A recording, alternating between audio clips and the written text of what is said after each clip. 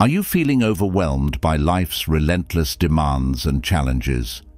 Do you find yourself constantly caught in a cycle of worrying about what the future holds or lamenting over the past, unable to seize the joy of the present moment? If these questions resonate with you, know that you're not alone. Many of us are on a seemingly endless quest for peace and balance in a world that feels increasingly chaotic and uncontrollable. The pursuit of tranquility amidst turmoil is a common thread that unites us all, each of us seeking a way to navigate our emotions and life's unpredictable waves with grace and resilience. You found a guide that promises not just fleeting relief, but a profound transformation in how you confront and interact with the myriad aspects of life. This guide is not about sidestepping your problems or cloaking them in pretense. Rather, it's about arming you with the wisdom and tools to face life's adversities head-on, fostering a sense of inner serenity and strength that may have previously seemed unattainable. At the heart of this guide is the ancient yet remarkably relevant philosophy of Stoicism. Stoicism provides a robust framework for personal freedom and inner peace, teaching us how to maintain our composure and integrity in the face of life's trials and tribulations. It shows us how to detach our happiness from external conditions and instead find contentment and resilience within ourselves. Through clear, accessible language and practical steps, this guide will introduce you to the core principles of Stoicism, such as understanding what is within our control and accepting what is not, cultivating virtue as the highest good, and practicing mindfulness in our daily lives. You'll discover how Stoicism can help you reduce stress, enhance your relationships, and lead a life that is more intentional and fulfilling. As we delve into Stoicism's rich teachings, you'll find strategies for managing negative emotions, techniques for building resilience, and insights for achieving personal growth. This guide is your invitation to explore a philosophy that has guided countless individuals through the ages toward a life of peace, purpose, and freedom. Welcome to a journey that has the potential not only to change how you view the world, but more importantly, how you view and conduct yourself within it. Together, let's embark on this path of stoic wisdom, learning how to navigate life's storms with dignity and poise, and moving towards a future where true freedom and tranquility are not just ideals, but realities we live by every day. Disrespect is a common foe that challenges us throughout our lives. Emotionally, it can shake us up and make us feel upset and hurt. What if I told you that there is an old philosophy that can help us navigate these rough times with wisdom and grace? Welcome to our journey into Stoicism. In this lesson, we'll look at 10 useful rules that can help you deal with disrespect. First, let me paint you a picture of what Stoicism is all about. Picture yourself in a busy cafe where someone cuts in front of you. You feel a surge of anger and frustration. What if I told you there's a smart and calm way to deal with this disrespect? Follow along as we go through these Stoic lessons one by one. First lesson, keep your cool. The most important lesson in Stoic philosophy is to keep your cool, which is like staying calm in a storm. Imagine that someone is undermining your work. Instead of getting angry, Stoicism says to realize that what's really upsetting you is not what they're doing, but how you're reacting to it. You are in charge when you realize that your point of view is what makes you feel things. By giving you the power to choose not to be disturbed, this stoic practice helps you find inner peace and grow. Maintaining your cool helps you handle disrespect with grace and strength, just like a strong ship can handle rough seas. Second lesson, think about who you are. How to look at yourself like a stoic.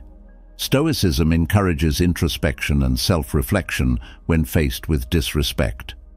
Picture a situation in which a friend criticizes the choices you make. Instead of reacting right away, Stoic self-examination makes you ask important questions like, are they telling the truth? What did you do that help? By looking at feedback with an open mind, Stoicism teaches humility and the chance to grow as a person. It's like looking at yourself in the mirror and asking, can I do better? Stoic art keeps you from acting on impulse and guides your actions with wisdom and care. Self-examination is the key to not only surviving problems, but thriving in them, which is what Stoic resilience is all about. Concentrate on virtue. Lesson 3. The good way for Stoics to respond. When people treat you badly, Stoicism says to use virtue as your compass. Imagine that a co-worker disagrees with your ideas. Stoicism encourages you to act with wisdom and integrity rather than reacting emotionally. Focusing on virtue makes you a strong guardian who stays true to yourself even when things get tough. Stoicism says that virtue, which includes things like wisdom and courage, is the highest good. If you follow the Stoic path, you can handle rude people with grace. Instead of ignoring rudeness, you should respond in a way that fits with Stoic values and helps you grow as a person. Fourth lesson, stop talking when you need to. Stoicism can help you control your emotions. Learning how to pause is a powerful Stoic skill that can help you deal with disrespect. Imagine someone putting down your accomplishments, Stoicism says to take a deliberate pause instead of letting your anger decide what you do. This pause turns into a healing haven that helps you take back control of your feelings and choices. You can handle rude people with calm and well-thought-out responses if you think about what happens when you act without thinking. Stoic teachings about pausing are like having a set of emotional tools that give you the strength to deal with upsetting situations with wisdom, self-control, and resilience. It means having the poise of a real stoic and keeping a steady hand through life's rough spots. Fifth lesson, show empathy, bringing about understanding and grace. According to Stoic wisdom, learning to show empathy is a powerful way to deal with disrespect. Picture a situation in which a friend says something hurtful. Stoicism gives you the courage to put yourself in someone else's shoes and try to see things from their point of view. This will help you feel sorry for them and understand that their rude behavior might be caused by their fears or insecurities, not an attack on you personally. When you take an empathetic approach, you can respond with understanding instead of anger. Lesson 6 Make peace with acceptance. How Stoics deal with being disrespected. Stoicism teaches the valuable lesson of accepting criticism when it comes your way. Think about a time when a co-worker sabotages your efforts. Accepting disrespect as a part of life you can't change is what Stoicism says you should do instead of getting angry. Acceptance is not a passive state. It is a deep source of strength. Realizing that what other people do doesn't define your worth makes you a strong protector of your inner peace. Instead of wasting your time and energy trying to change others, Stoicism advises you to focus on improving yourself. 7. Have fun with it. Being calm when someone treats you badly is a Stoic art. From the tapestry of Stoic wisdom, it seems that using humor is a smart way to deal with disrespect. Imagine that someone talks down to your accomplishments. Stoicism tells you to respond with a funny comment or a playful action, which can make a tough situation more fun. This Stoic method is not meant to downplay how bad disrespect is. It's just a way to keep your emotions in check. By dealing with the problems in life with a sense of humor, you show that you can control your emotions and act in a sensible way. Lesson 8. Set clear limits. The Stoic art of confident pride.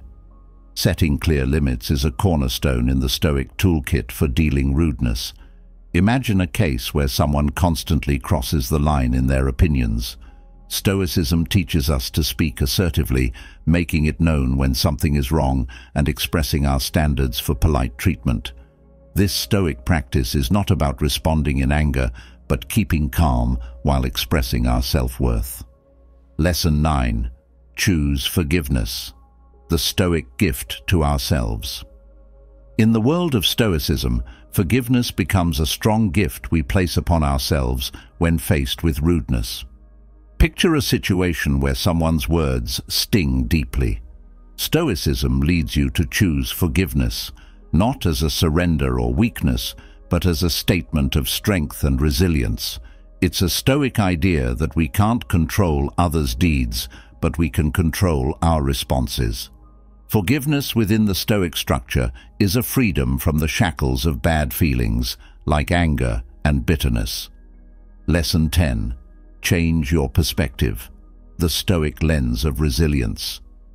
In the Stoic journey of handling disrespect, adopting a different perspective becomes a potent tool. Imagine disrespect as a passing gust in the vast landscape of life.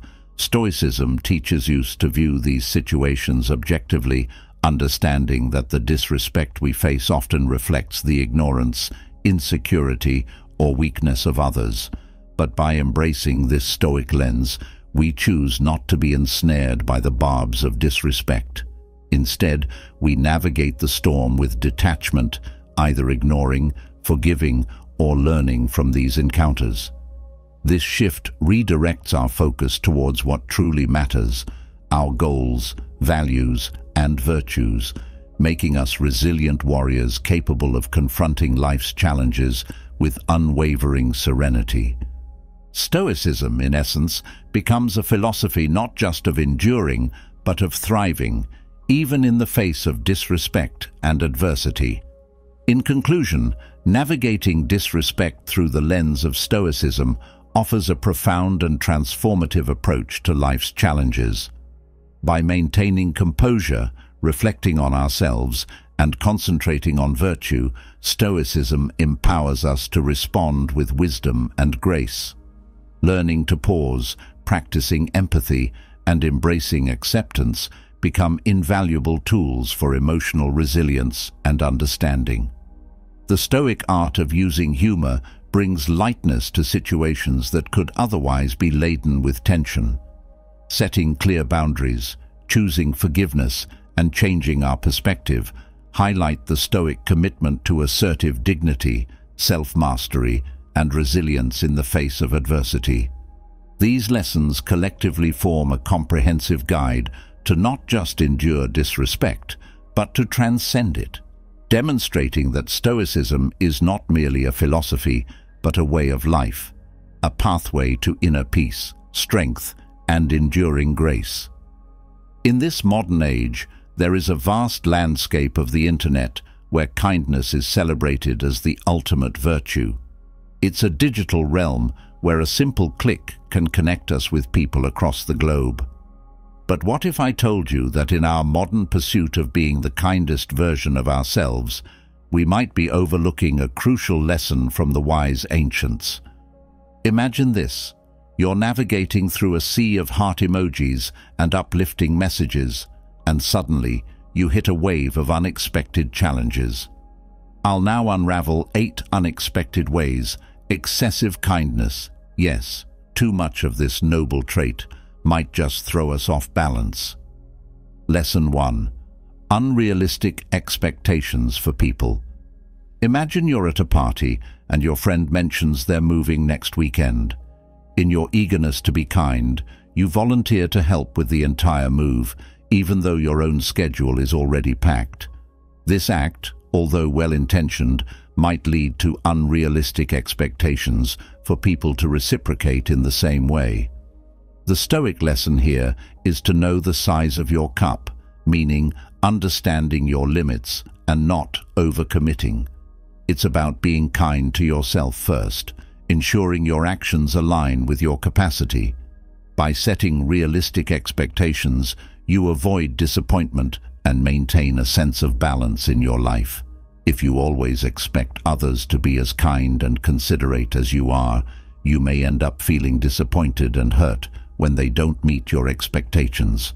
This can lead to resentment and strain your relationships. Lesson 2. Enabling comfort zones. Picture a scenario where you've constantly helped a friend with their tasks, making their life more comfortable. Over time, they start taking your assistance for granted, and the expectation builds that you'll handle everything for them. This aligns with Stoicism's emphasis on moderation and avoiding habits that harm mental health. The Stoics would advise against enabling others' comfort zones excessively as it disrupts the balance between selflessness and self-care. It's a reminder to be kind, but not at the expense of allowing others to neglect their responsibilities or, in turn, compromising your own well-being. This can lead to a cycle of dependency and prevent both you and your friends from reaching your full potential. Lesson 3. Taking on too much. Imagine you're at a gathering and a friend mentions they're moving next weekend. In your eagerness to be kind, you volunteer to help with the entire move, even though your own schedule is already packed. This act, although well-intentioned, might lead to unrealistic expectations for people to reciprocate in the same way. The Stoic lesson here is to know the size of your cup, meaning understanding your limits and not overcommitting. It's about being kind to yourself first, ensuring your actions align with your capacity. By setting realistic expectations, you avoid disappointment and maintain a sense of balance in your life. Lesson 4 always trying to make everyone happy. Many of us fall into the age-old desire to be liked by everyone, saying yes when we want to say no and constantly juggling masks to fit in. This people-pleasing may seem like kindness, but it often stems from our own insecurities. The Stoics, however, teach us the virtue of authenticity. They emphasize being true to yourself, understanding that you can't control others' opinions. The lesson is to focus on living authentically, attracting the right people who appreciate you for who you are. It's a reminder that constant approval isn't necessary. Being true to yourself is the most genuine form of kindness. If you constantly prioritize others' happiness over your own, you may end up neglecting your own needs and desires, leading to feelings of resentment and dissatisfaction. Lesson 5 neglect of personal goals. Picture this. You have personal aspirations like learning a new skill or pursuing a passion, but you constantly find yourself putting these goals aside to help others. While kindness is virtuous, the Stoic teaching here is about finding balance. Neglecting your personal goals may lead to feelings of frustration and unfulfillment. The Stoics emphasize the importance of living by reason and virtue, setting limits, and prioritizing your responsibilities. It's a gentle reminder to be kind to yourself, ensuring that your acts of kindness don't come at the expense of your own growth and aspirations. If you're always putting others' needs before your own, you might find that you're not making progress toward your own dreams and ambitions. This can lead to feelings of regret and unfulfillment. Lesson 6. Perception of weakness. Imagine you're always available to help others, saying yes to every request and never setting boundaries. While this might seem like extreme kindness, the Stoics caution against it as it can lead others to perceive you as weak. Stoicism encourages strength and self-discipline. The lesson here is to practice moderation in your kindness, showing others that you are committed to your responsibilities and ideals. By setting limits and practicing self-discipline, you earn respect instead of being seen as weak. It's a reminder that being kind doesn't mean compromising your own strength and principles. Lesson 7. Attracting takers, not givers. Picture a scenario where your kindness knows no bounds. You're always there to help, offering your time, resources and support. While this might seem like the epi-jackie of generosity, the Stoic wisdom advises moderation. Giving excessively without discernment can attract people who only want to take and seldom reciprocate. The Stoics guide us to be wise in choosing whom to help, maintaining a balance between selflessness and discernment. It's a reminder that not everyone values your kindness equally, and practicing moderation safeguards you from becoming a magnet for those who only seek to benefit without giving in return. Lesson 8. Needing others' approval. In the age of social media, it's easy to fall into the trap of seeking constant validation for our acts of kindness.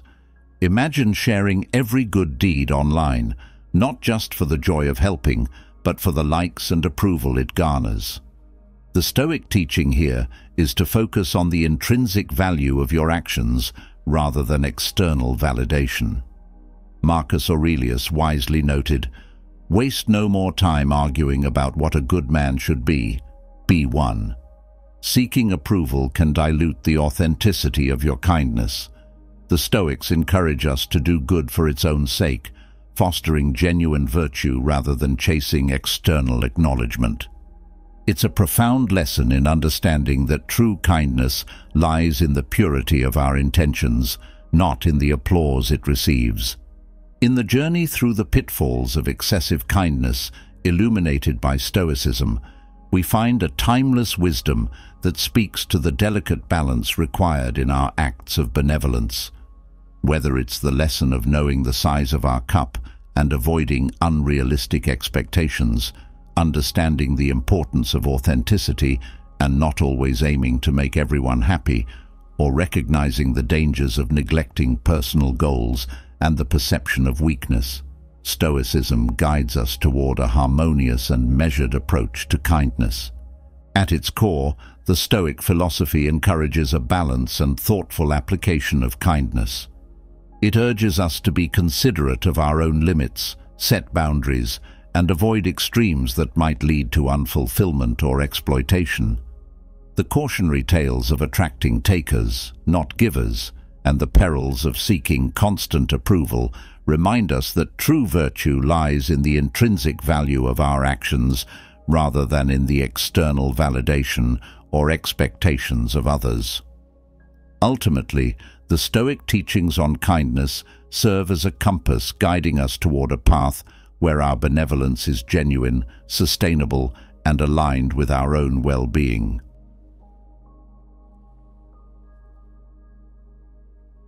According to Marcus Aurelius, you have power over your mind, not outside events. Realize this, and you will find strength. Do you know how frustrating it is when your mind is full of noise, when you can't make up your mind, or when you overthink and can't move. Everybody has been there, repeating talks, guessing what will happen, and trying to figure out an endless list of what-ifs in their minds. Allow us to face this problem directly by presenting 10 useful Stoic methods for getting rid of excessive thinking. Imagine an outside force pushing against your overthinking. When you're not looking, Overthinking can sneak up on you like fog on a clear day.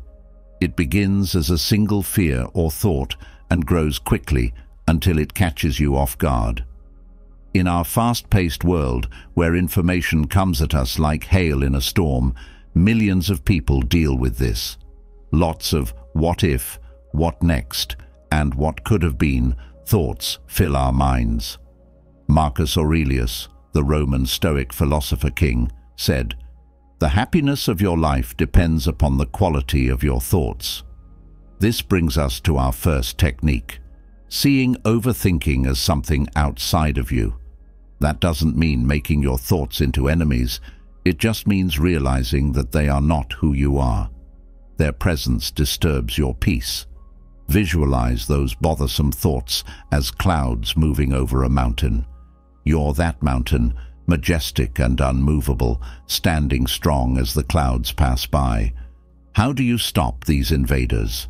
Stoicism tells us to watch without getting involved. Picture putting these thoughts in a bubble and watching them float. In addition to making them less important, this mental practice helps you remember that feelings are fleeting. They can only ruin your peace if you let them have it.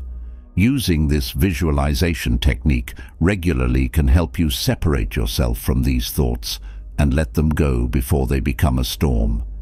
More practice in separating yourself from this constant thinking makes it easier to understand that you are more than just your thoughts. This difference protects you like earplugs do in a loud crowd. With daily practice, the effort gets better because it's conscious and ongoing. Imagine that the thought is noise, not important, and not part of who you are when you notice that you are starting to think too much. You'll avoid overthinking and regain mental peace by doing this, one step at a time. Manage your energy by changing where it's going. Have you ever noticed that your mind becomes stuck in a never-ending loop of what-ifs and worst-case scenarios? It's mentally draining to keep thinking about the same fears over and over again. It's like endlessly opening new computer tabs and each one playing a movie at full volume. You can't find the stop button. In today's world, where there is a lot of pressure to stay on top of everything, people often find themselves thinking too much. To clear out your thoughts, just like you would clean up a messy desk. Redirecting your mental energy isn't just about finding peace of mind. It's also about regaining control and turning down the noise of what could be so you can enjoy what is. Seneca, another Stoic philosopher, said, True happiness is to enjoy the present without worrying about the future. This wise advice is the basis for regaining control by refocusing your energy. Get centered in the present moment to stop overthinking. Whatever you're working on, no matter how small, keep your mind on it and put all of your energy into finishing it. Changing your attention brings you back to the present moment and stops you from thinking about what-ifs in the future. Engage in a task that needs your full attention. This is an easy but deep practical application. It could be as easy as cleaning up your workspace, going for a walk, or getting lost in a book. These actions need the present moment, not yesterday or tomorrow. It's not just a distraction when you tell your thoughts to match your deeds. You're actually controlling where your energy goes. Stoicism is not about ignoring your thoughts. It's about controlling them by picking which ones to focus on. You're working on your mental control. Avoiding overthinking completely is not the goal. That's too high of a standard. Knowing when your thoughts aren't helpful and having the tools to change them are the goals. Using this ability to refocus more often makes your mind stronger and more adaptable, just like working out a muscle. Wave by wave, careful action and present will help you control the crushing tide of overthinking. Accept that things change over time and regularly let go. People often get stuck in a mental loop where they keep thinking about the past or worrying about the future. At this point, you're probably thinking too much and your thoughts are sticking around for longer than intended. This problem affects everyone, whether they are a student worried about a test, a worker worried about a presentation, or just someone trying to fall asleep while their mind is racing at 100 miles per hour. Even though our minds are racing, Epictetus's words can help us relax. He who fears death will never do anything worthy of a man who is alive. This may sound like a heavy quote, but it's actually about the idea of change, which is at the heart of Stoicism. This includes the thoughts that don't seem to go away. Thinking too much can make us hold on to our thoughts, like they are fixed parts of our lives. Adopting impermanence means realizing that thoughts are temporary and don't last forever. Finding this understanding can give you hope when you feel stuck in too much thinking. Easing into the idea of change in real life means doing more, letting go. For mental cleansing, you let go of thoughts that don't help you. Imagine a river, and each thought is a leaf floating on the water. They might also look like clouds to you, always shifting, moving on. In addition to giving you instantaneous relief, this image helps you understand more deeply that the nature of thinking is to change. Doing this every day can change the way you interact with your thinking. Allowing them to leave is what's important, not pushing them to. Lending up isn't giving up. It takes courage to let go. You're deciding not to let useless thoughts take up free space in your mind. If you practice this regularly, you'll notice that your mind has more room and quietness that was there all along, but you couldn't hear it because you were thinking too much. Embracing change isn't just a method, it's a way of life that leads to more peace and presence. Start a worry time. It's normal to have fears in the back of our minds, like the hum of a refrigerator, always there, sometimes hard to register, but definitely there. Anytime, these fears can take over our minds, even when we're trying to sleep, focus on work, or have fun with friends. It's like these worries are not invited players who won't leave our mind performance. Epictetus, a Stoic teacher, said, If you want to get better, be happy to be thought foolish and stupid. This quote may seem off-topic, but it's a strong lesson to put our peace of mind ahead of worrying out of fear of appearing naive or careless. Establishing a worry period is a smart way to give these worries a stage time, but only during the encore and not the main act. Schedule a time every day, like 20 minutes in the afternoon, to focus on these worries. At this time, focus on your fears, looking at them closely, trying to figure out where they come from, and maybe even writing them down. What's driving you crazy? How probable are these events? Things you can do to stop them. During this focused session, we often realize that many of our fears are like shadows. They look big, but when you look them in the eye, they don't really mean anything. Additionally, this method teaches your mind that worrying is only appropriate at certain times and places, not all day, every day. After the worry time is over, you move on. You have given your fears their time and now you ignore them. Creating these separate areas will help you take back control of your day. That's not the point.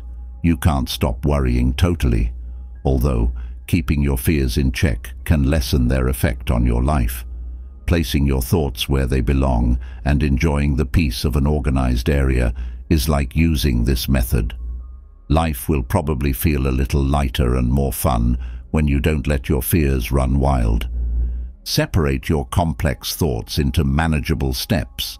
Being overly concerned can make us feel like we're carrying a huge rock. Our fears are as big as the world, and they're holding us down. This feeling isn't just ours. It's a common human situation made worse by living in a world that expects great success in all areas of life, including relationships, work, personal growth, and social standing.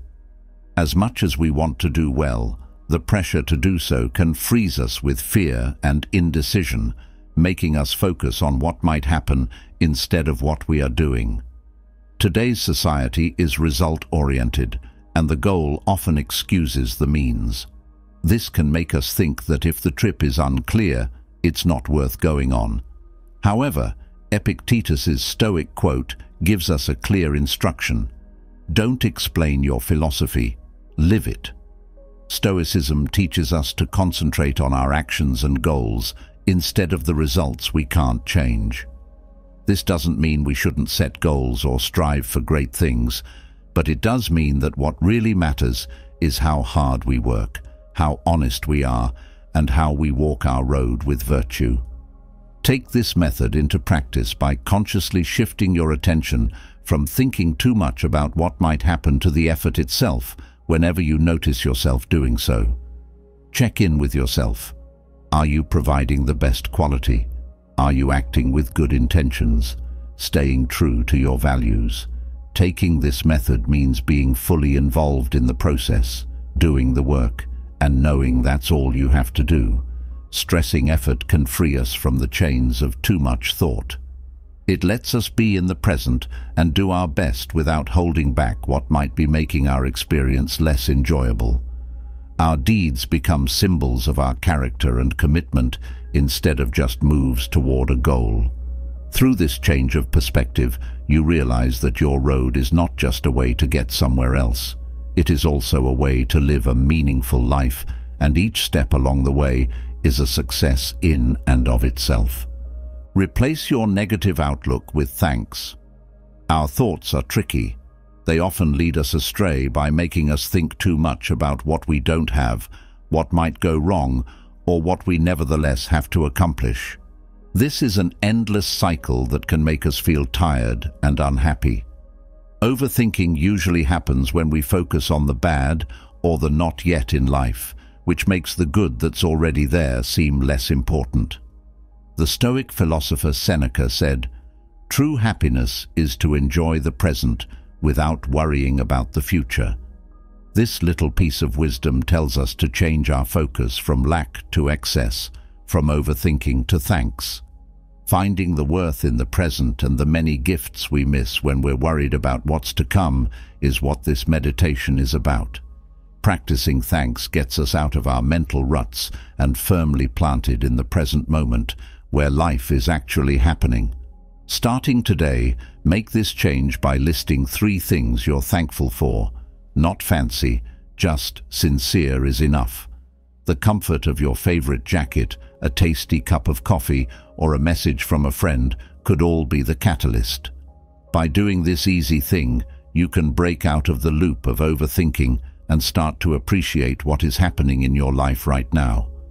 In addition to blocking out the noise of overthinking, Focusing on thanks can also make your daily life better. When we are grateful, the good things in our lives become even more noticeable and our inner conversation can slowly change from one of lack to one of plenty. Looking at things from a different angle can change how you deal with problems in life over time, making them into chances to see and value what's already good in your life even more. That's not all. It's about building a base of happiness that can support you through the unavoidable ups and downs of life. Emphasize work over result. Thinking too much about the future, its outcomes, its what-ifs, and its endless chances of failure and disappointment often makes us overthink. This looking into the future can make us absolutely terrified and we may start to think about the possible outcomes of our actions instead of the actions themselves. Today's society is result-oriented and the goal often excuses the means. This can make us think that if the trip is unclear, it's not worth going on. However, Epictetus's Stoic quote gives us a clear instruction. Don't explain your philosophy, live it. Stoicism teaches us to concentrate on our actions and goals instead of the results, we can't change. This doesn't mean we shouldn't set goals or strive for great things, but it does mean that what really matters is how hard we work, how honest we are, and how we walk our road with virtue. Take this method into practice by consciously shifting your attention from thinking too much about what might happen to the effort itself whenever you notice yourself doing so. Check in with yourself. Are you providing the best quality? Are you acting with good intentions, staying true to your values? Taking this method means being fully involved in the process, doing the work, and knowing that's all you have to do. Stressing effort can free us from the chains of too much thought. It lets us be in the present and do our best without holding back what might be making our experience less enjoyable. Our deeds become symbols of our character and commitment instead of just moves toward a goal. Through this change of perspective, you realize that your road is not just a way to get somewhere else. It is also a way to live a meaningful life, and each step along the way is a success in and of itself. Try voluntarily feeling uncomfortable. When we're contemplating something that might be uncomfortable or different, our thoughts often take us into a vortex of overthinking. Over and over, we act out different situations, trying to guess what will happen and getting ready for every possible pain. Mentally practicing this can be tiring. When you stay in your comfort zone, you stop growing, and overthinking is the mastermind that keeps you locked up. According to Marcus Aurelius, the art of living is more like wrestling than dancing. This is similar to the Stoic philosophy of facing problems head-on instead of dodging them. Feeling uncomfortable on purpose can help us deal with uncertainty and stop overthinking. Small, intentional acts that push us outside of our comfort zones teach us resilience and flexibility. Start small by doing something like taking a cold shower, sleeping without a pillow, or walking instead of driving to bring this into your routine. Disrupt your normal pattern and be with your thoughts without judging them. Doing this isn't a punishment. It's a way to show yourself that being uncomfortable isn't as scary as you think it is. Surprisingly, choosing to be uncomfortable can make you more comfortable with many parts of life. By doing what makes you uncomfortable on a regular basis, the new becomes known and your mind learns to calm down.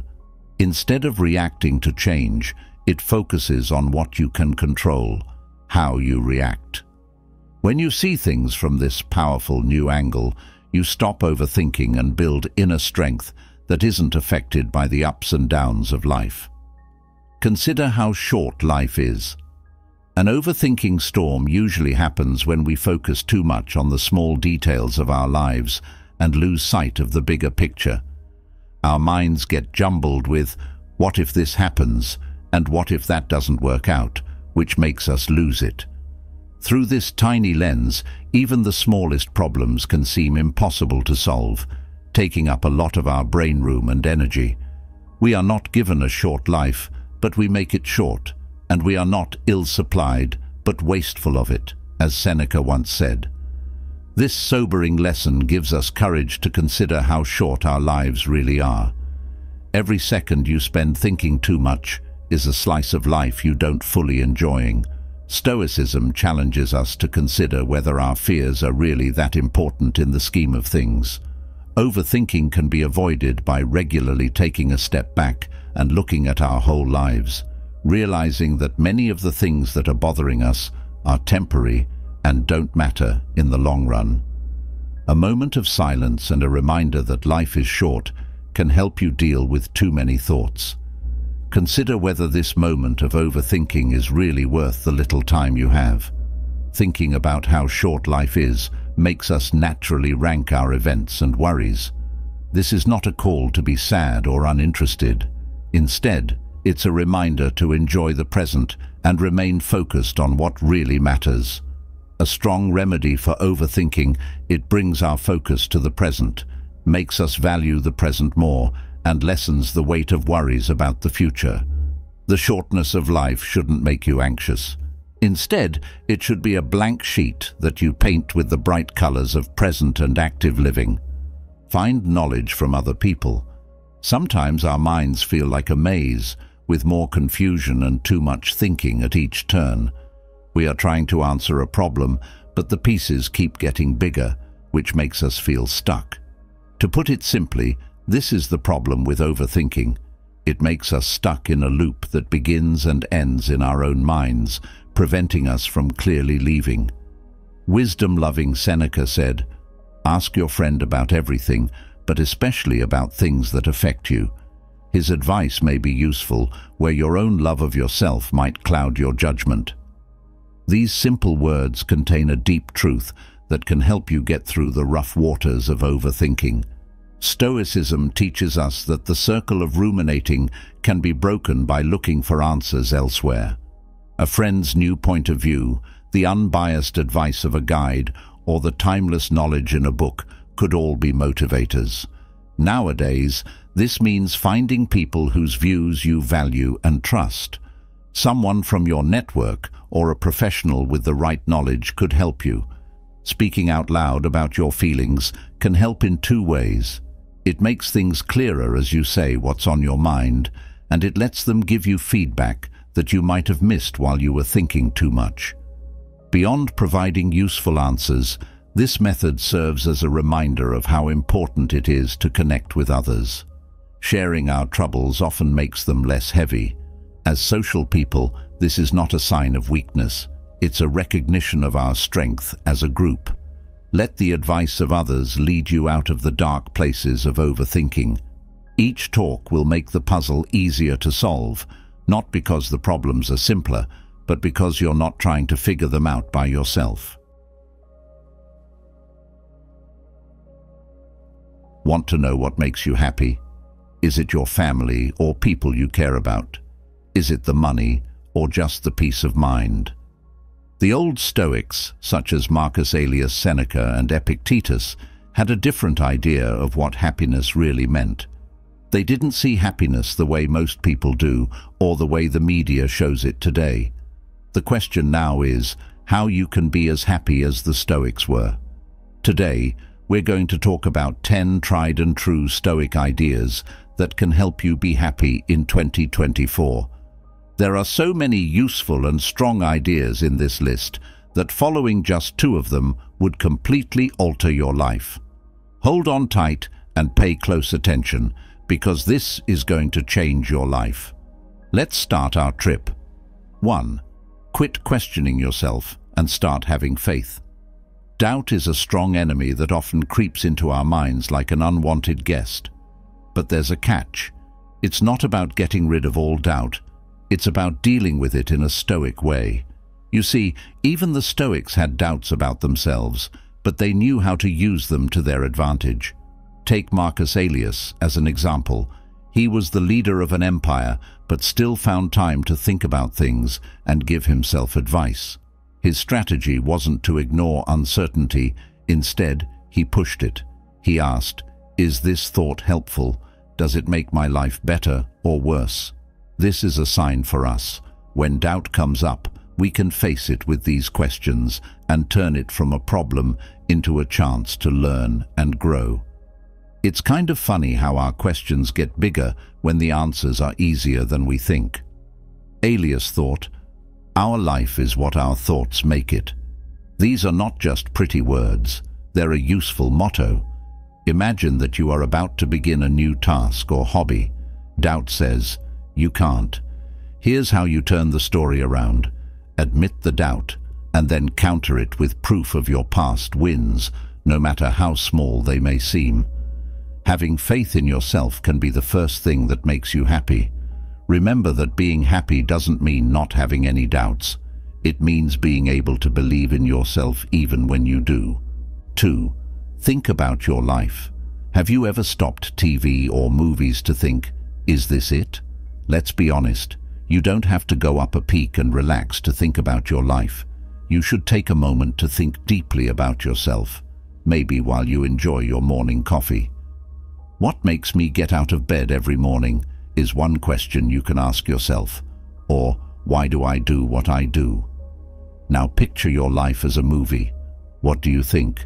Would you watch it or fall asleep before the end credits? When you reflect, you're not being mean to yourself, you're just being honest. If your daily life were a YouTube movie, would you click like or scroll past? Don't forget that you're in charge of this show. You decide if it's good enough to binge. Let's talk about dreams now.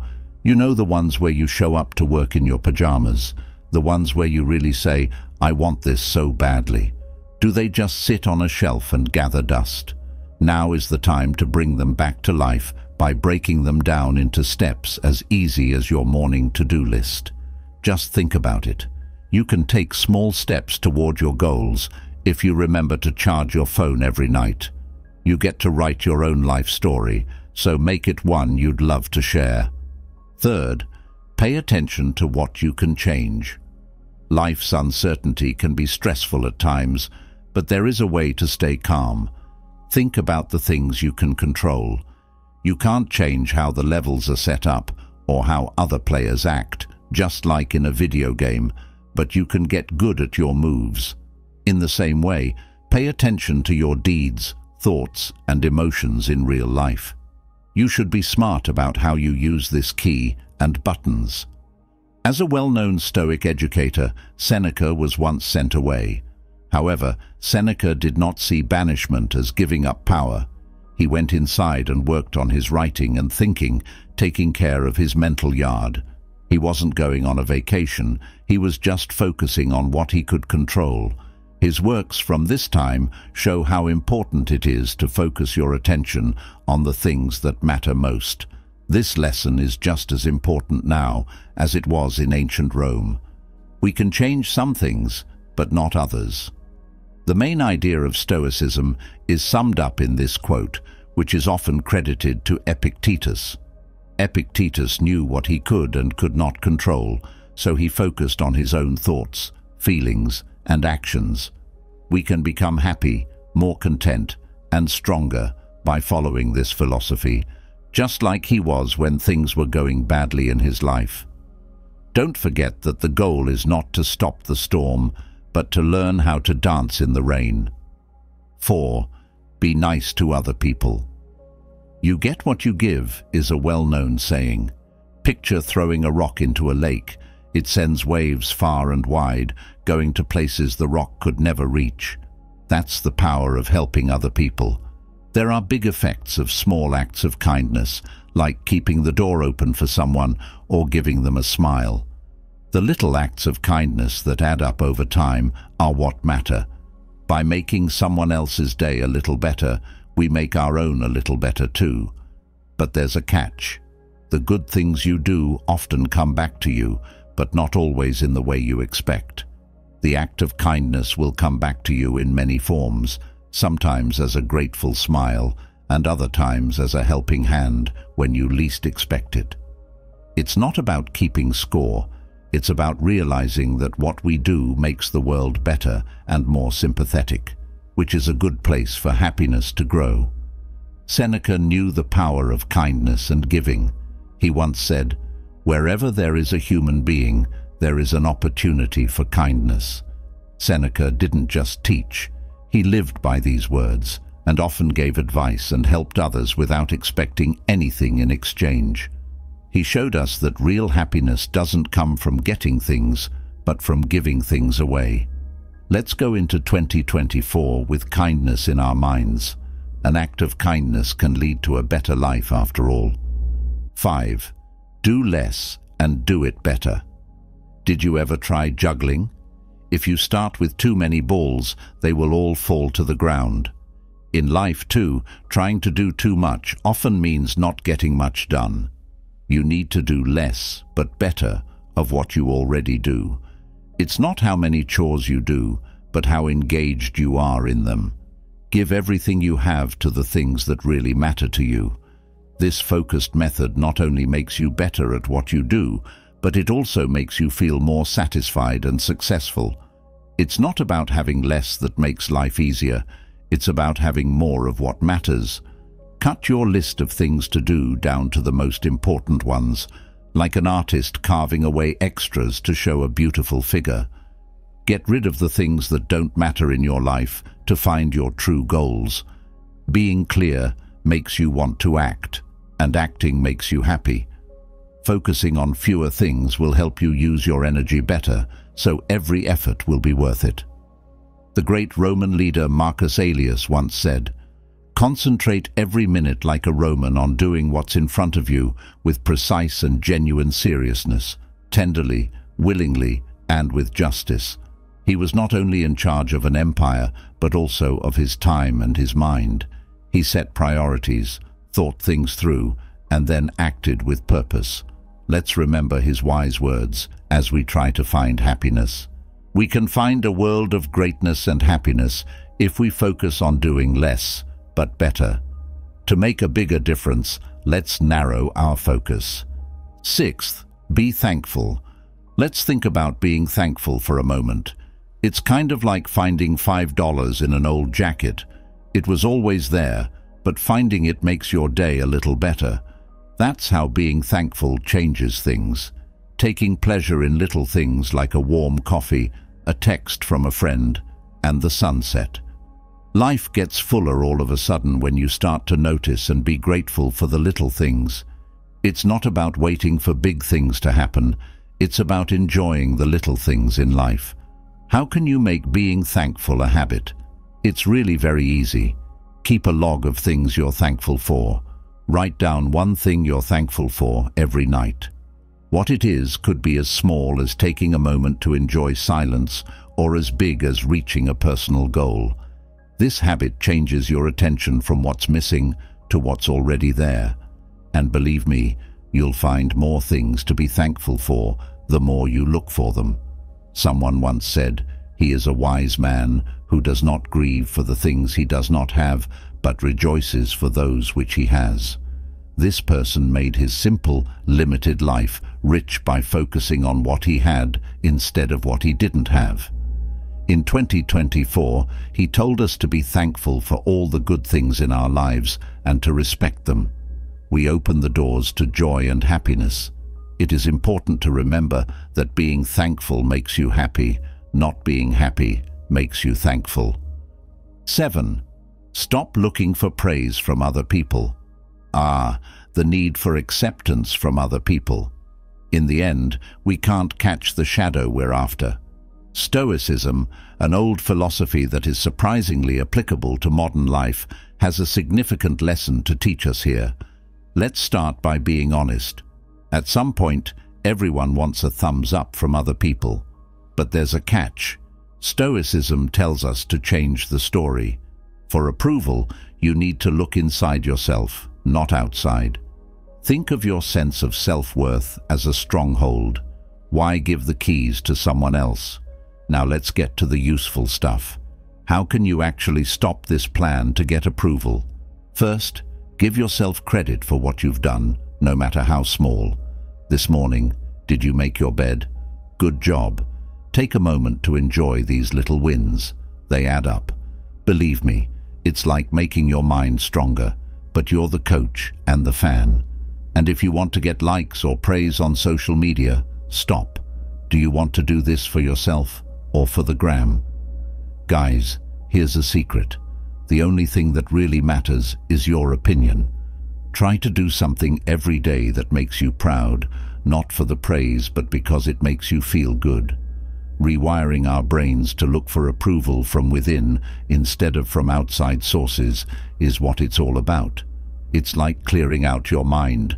Focus less on what other people think and make more room for your own growth.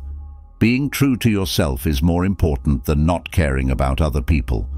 This change in how you think is not only freeing, it's also powerful. Eighth, give yourself a challenge. Picture yourself climbing a rock. It's hard and steep, and you might wonder why you started in the first place. Here's the thing though, every step up that peak makes you stronger. The Stoic philosophy, which is as old as the hills and as new as tomorrow's sunrise, teaches that the best way to live is to face and overcome obstacles. Now that it's 2024, let's make our daily grind our own Everest. You might be thinking, that sounds like a lot of work, right? To be stoic, you don't have to change everything all at once. You have to make small, steady changes. To begin, Make a plan that is both challenging and attainable. It might be getting in better shape, learning a new skill, or even just reading one book a month. How you grow when you work toward your goal is more important than the goal itself. Every little win helps you climb the mountain. Remember that climbing a mountain isn't something you do by yourself. Tell other people about your problems and your successes.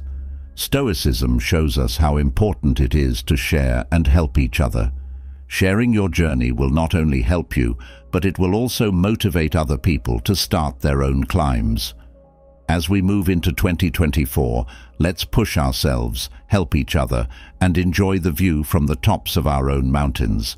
Have fun climbing. 9. Have more fun. It's not just a happy idea to laugh more, it's a key part of living a happy life.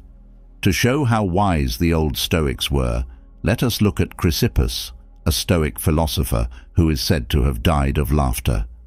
Even though that's a very extreme case, it shows a very important truth. Laughing is a serious business. It's something that helps us carry our problems and see them in a new way. Think for a moment about how silly life's little tragedies would seem if you looked at them through the lens of humor. When your coffee spills, you don't get mad. Instead, you laugh at the universe's strange timing. That's stoicism at work, telling us that we don't have to frown over everything. What can be done to make more laughing a part of everyday life? It's not as hard as you think, Start by looking for the funny side of things that happen every day. Stop and go. This is your chance to listen to your favorite funny show. Having a rough day at work? Trade stories with your friends to see who can come up with the stranger ones. Not ignoring the complicated parts of life is not the point. The point is to choose a happy outlook. It's a sensible stoic way of thinking. Take charge of what you can, your thoughts and actions, and let go of what you can't. We all share a tune when we laugh, and it makes our trip together a little brighter. So, the next time you find something funny, please share it. Be that person who makes other people smile. Your joy spreads and changes people's lives in ways you may never know. To find balance within and share it to others is what Stoicism is all about. It's not enough to just tough it out. You have to enjoy life too. Feel free to laugh some more. Plus, it's wise advice that has been passed down through the years. 10. Be happy with your fate. Be happy with your fate. It sounds like a lot to ask, doesn't it? In spite of this, this is where the old knowledge of Stoicism meets our fast-paced, tech-savvy world. Stoicism isn't about hiding your feelings or facing pain with a stiff upper lip. It's about being positive no matter what life throws at you. It's like surfing. Waves of all sizes will come, but what matters is how well you can ride them. So, how do you love your fate when it can be anything from missing your Uber to having a very important email disappear into thin air? Start by changing the way you think. If something goes wrong, look at it as a chance to get better. Do you miss that Uber?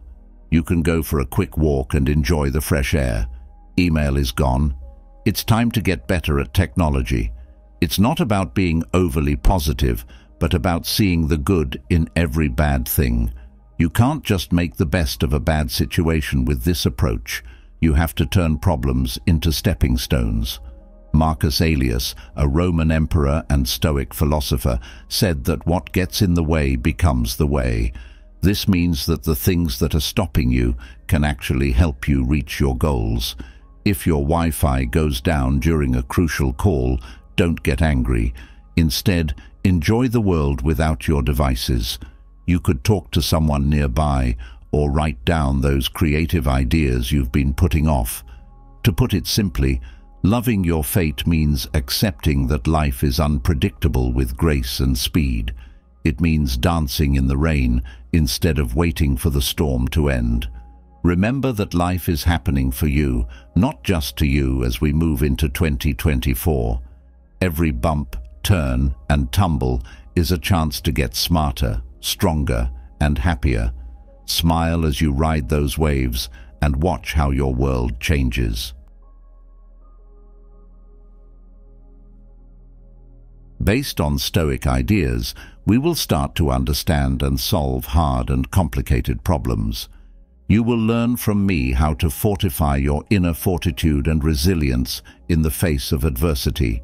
We will learn from Marcus Aurelius, who faced storms in both his political and personal life, how to live a good life with meaning in a world that is always changing. Marcus Aurelius's meditations are like a mirror that show his deep knowledge and insights, inspiring us to develop inner courage and self-mastery. He thought that if we focus on the things we can change, like our thoughts, feelings and deeds, we can get through anything, stay balanced, and find inner peace. Lesson 1. Learn to be grateful. Learning how to be happy can help you in many ways. More happiness, better mental health, and stronger relationships are all things that people who regularly show thanks report. In fact, they are healthier than we are. Most of the time, people who are grateful are happier, less stressed out, and better able to handle tough conditions. You could start a gratitude book to bring more thankfulness into your daily life. Whatever the thing is, write down three things you are thankful for every day. By switching your attention from the bad things in life to the good, this simple habit can help you see and value the things you're grateful for. Giving thanks to others is another way to practice gratitude. Thank your loved ones, friends and co-workers for their kindness, understanding and support. You can improve your relationships with others and grow your sense of thanks by letting them know how much you value what they bring to your life. Also, make it a habit to think about your accomplishments, wins, and the problems you've solved. Keeping track of your personal growth and the lessons you've learned can help you look back on your journey and feel more thankful for the things that have shaped you. Developing gratitude can also be helped by being mindful. When you focus on the present, you can enjoy small things that you might have missed before, like the warm sun on your face or the laughs of people you care about. You can be more thankful for the simple things in life if you enjoy these times. Practicing thanks is a strong way to improve mental health, keep a good attitude, and build resilience.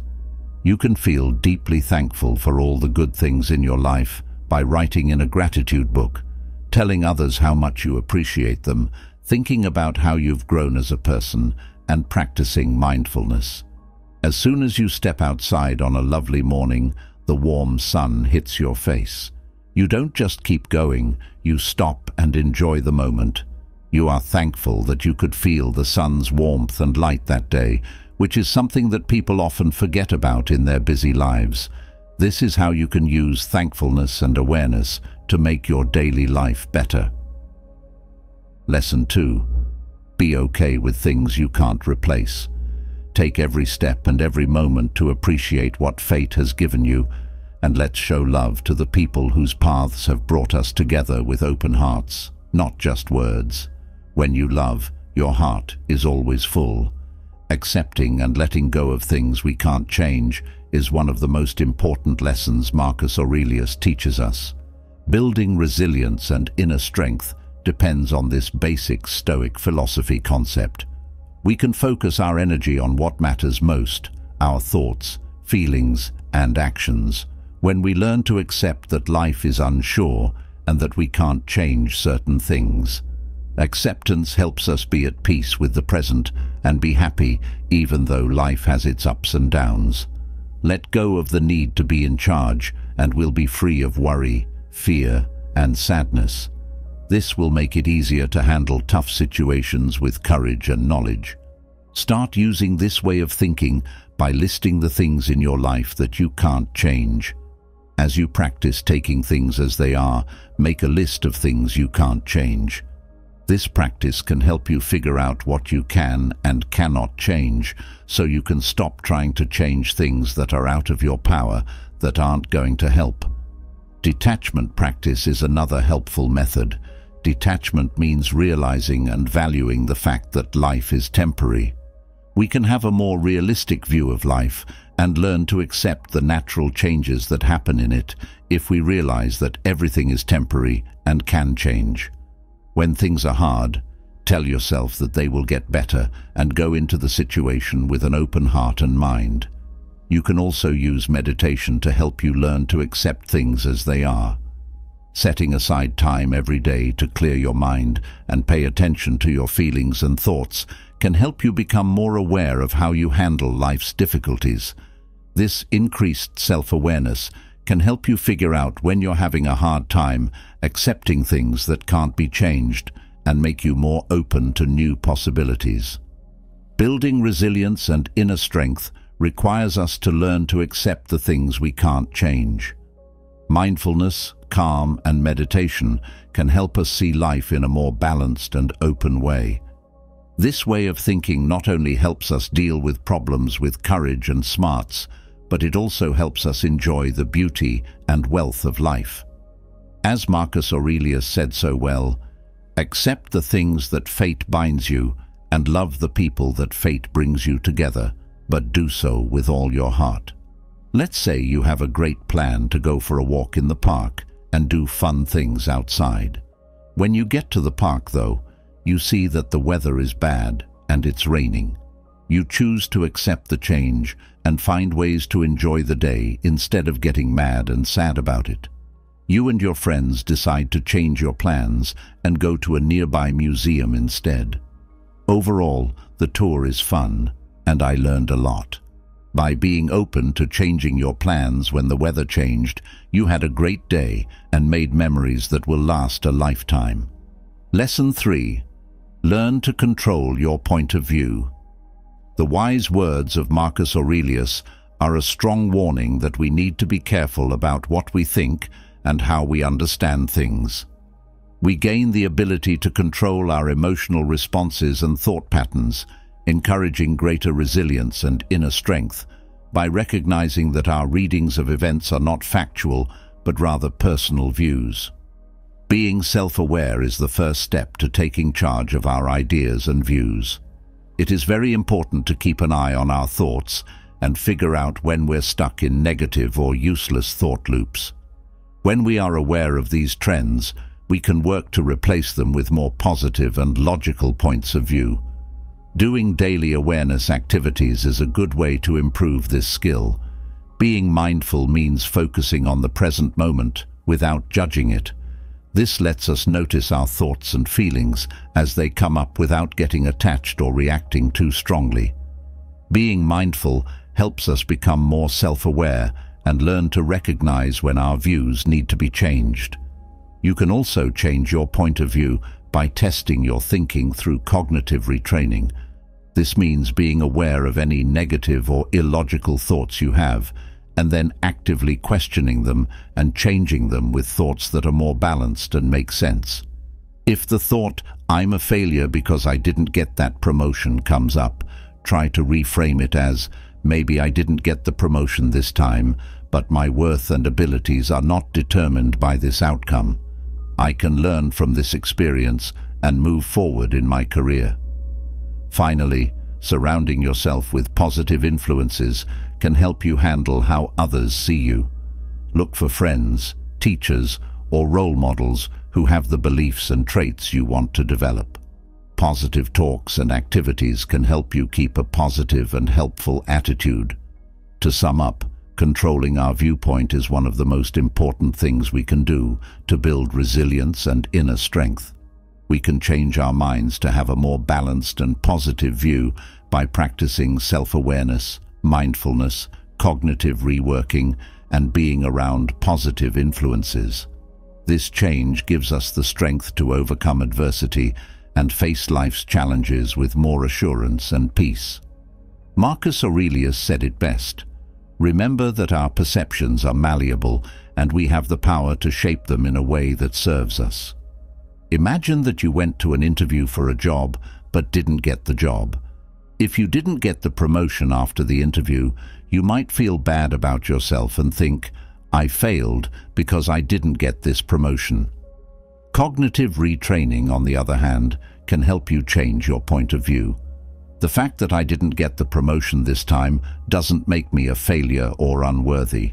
I can use this experience to learn and improve my skills. This job wasn't meant for me, and there may be better opportunities ahead. This failure doesn't define my worth. It's just a step in my career journey. By cognitive reframing, you've changed a negative thought into a more positive and balanced one, which has helped you stay positive. Fourth lesson, get better at being detached. Don't let what other people think or do affect your precious soul fire. Marcus Aurelius stressed in his writings how important it was to separate oneself from outside events and situations. His advice is that we should focus on developing our spirituality and inner ideals. This will not only bring us peace, but it will also make us stronger when life gets tough. We can develop more inner virtue and inner strength rather than looking for approval or happiness from outside sources. Detachment has a huge range of perks. Detachment helps us stay calm and stable in our minds even when things are hard or trying. It also keeps us from getting too attached to results, things, or other people's views. In the end, this can cause stress, worry, and regret. To use detachment in your daily life, start by paying more attention to how you think and feel about things that happen around you. Watch how you react to things and work on watching your feelings and thoughts without getting too attached to them. Being more self-aware can help you tell when you're focusing too much on things going on around you and help you shift your attention inward. Something else that can help you practice separation is to keep in mind that everything changes. Recognize that things, people, and situations can change, and that trying to find permanent happiness in these areas is pointless in the end. Focus on personal growth, morals, and faith instead to find true happiness and satisfaction inside. You can also learn to be detached by getting to know yourself well and knowing your core ideals. Once you know what's most important to you, it's easier to let go of outside factors that might not match your ideals. You should think about your core values and use them to help you make choices and act.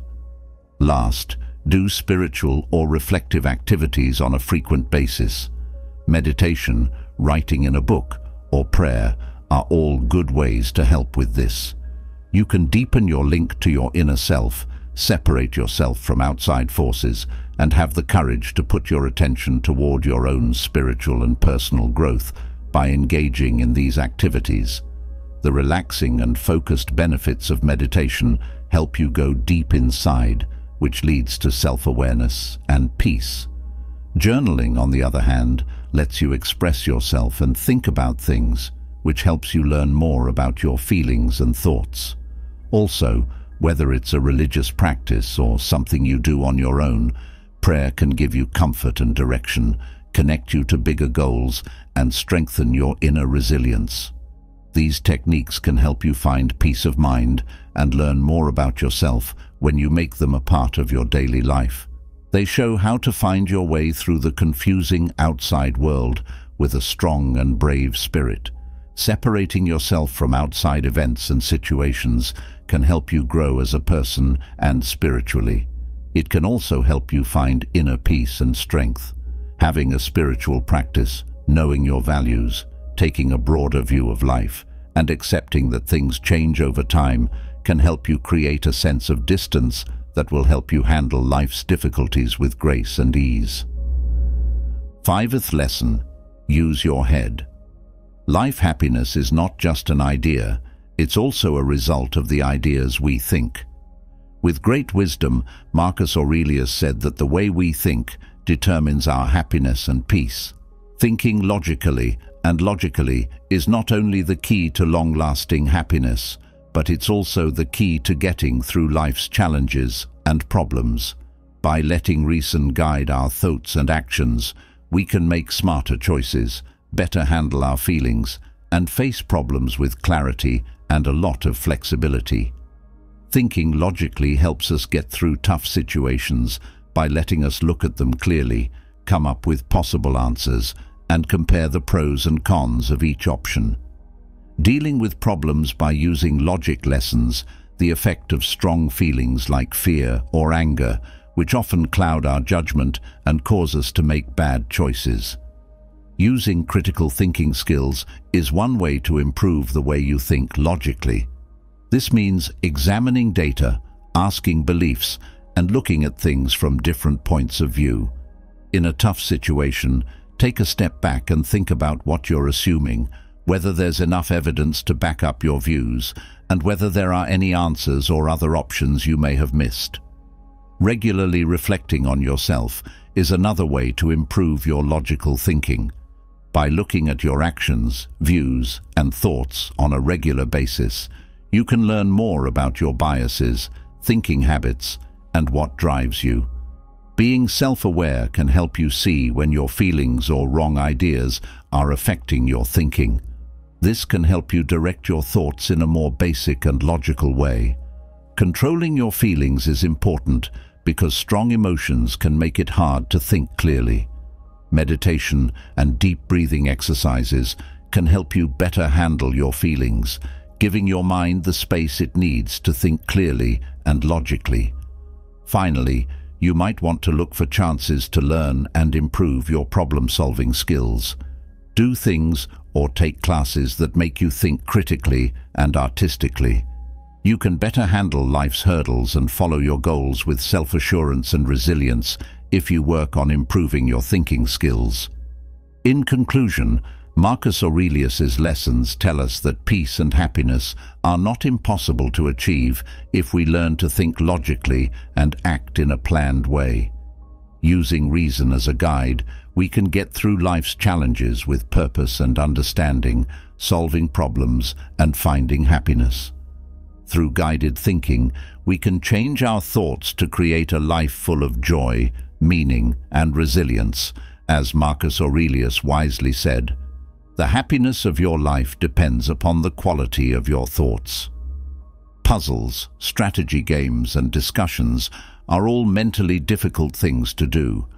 You might also want to try new intellectual hobbies, read things that will make you think, or have interesting conversations with friends who share your interests. These actions will not only make you more aware, but they will also help you grow as a person and gain a better knowledge of the world around you. Don't miss the chance to keep growing your mind and seeing things from different angles by doing these interesting things. It's possible that these events will help you think more logically and face problems with more clarity and reason. Building resilience is an important part of getting through hard times.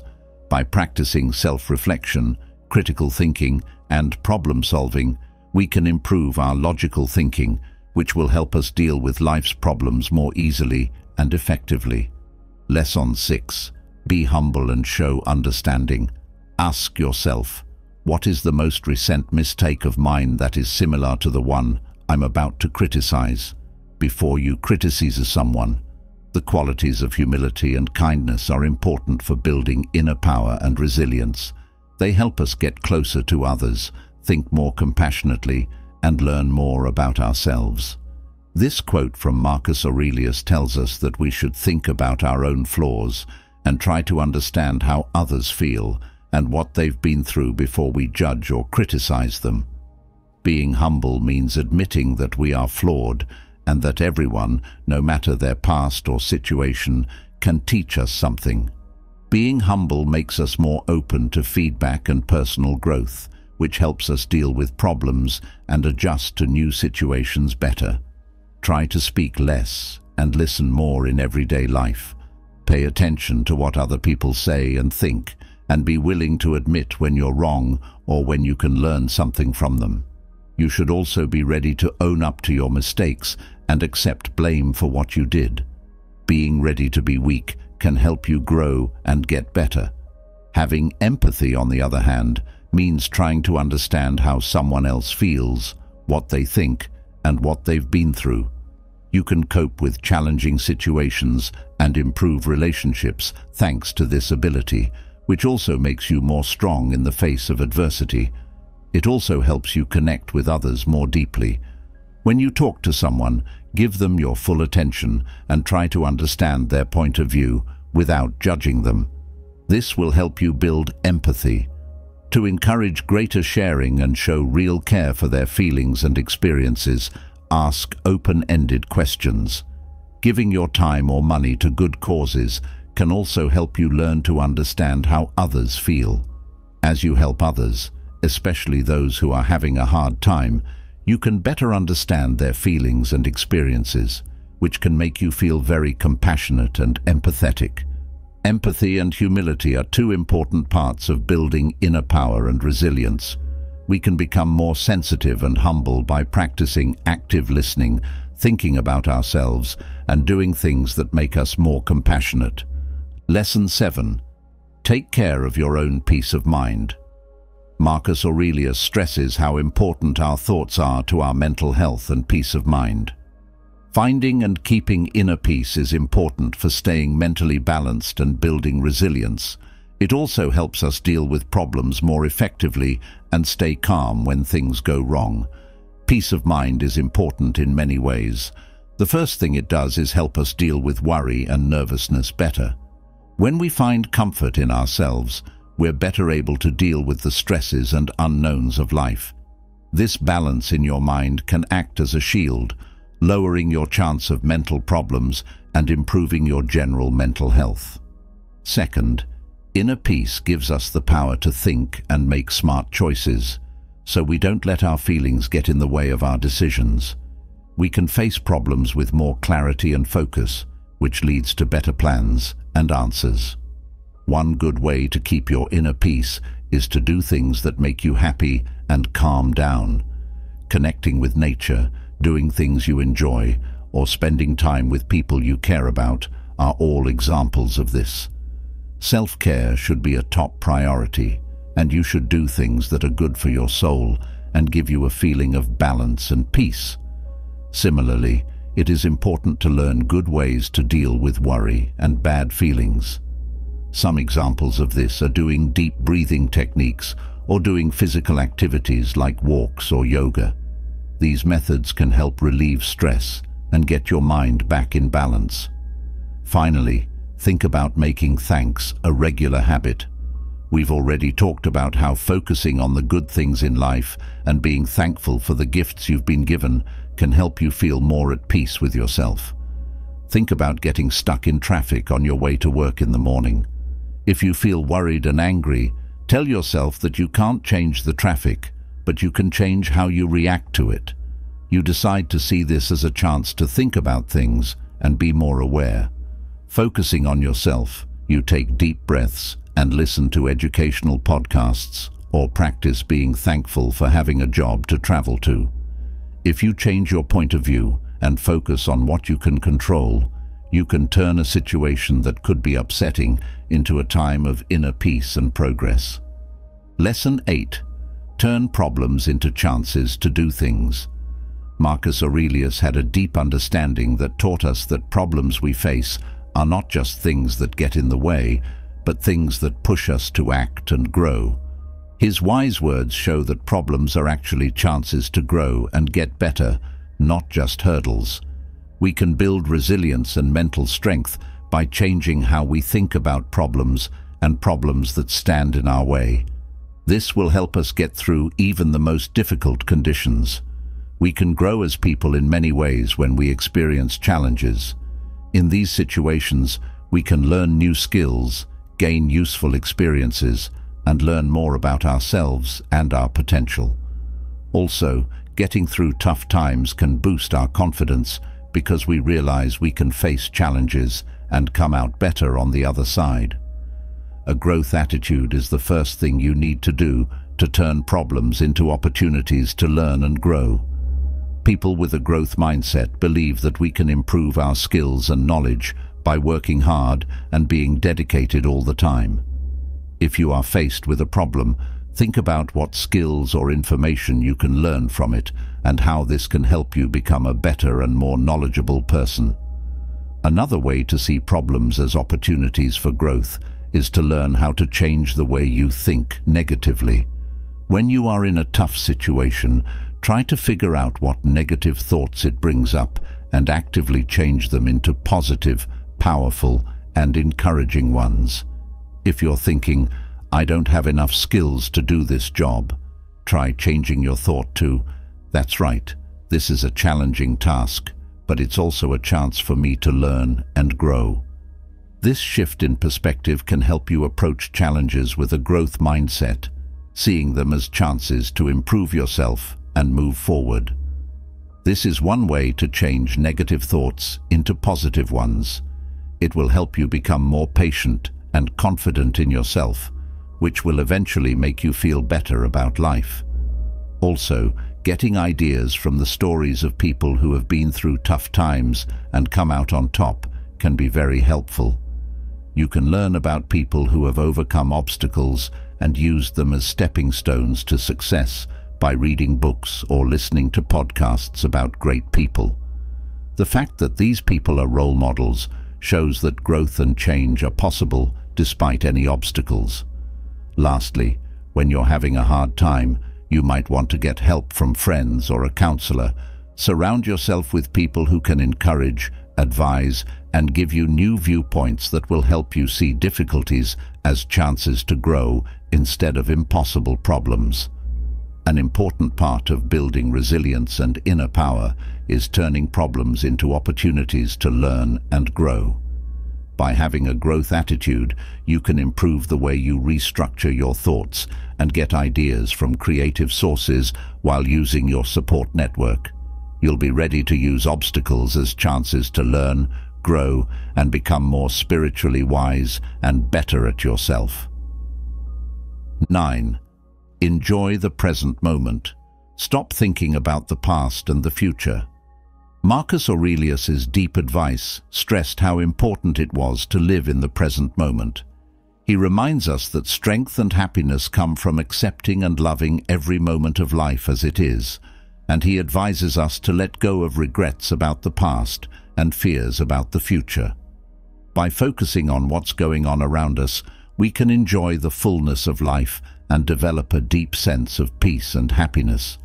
Focusing on the present has many benefits, such as lowering worry and anxiety, becoming more self-aware, and improving mental health.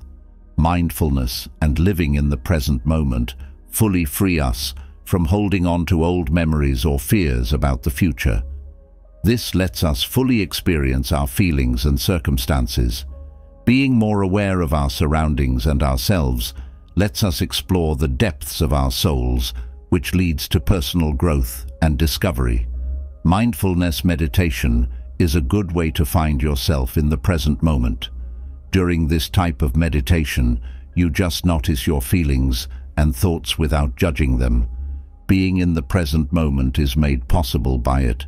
Find a quiet place, sit in a comfortable position, and focus on your breath to start this meditation.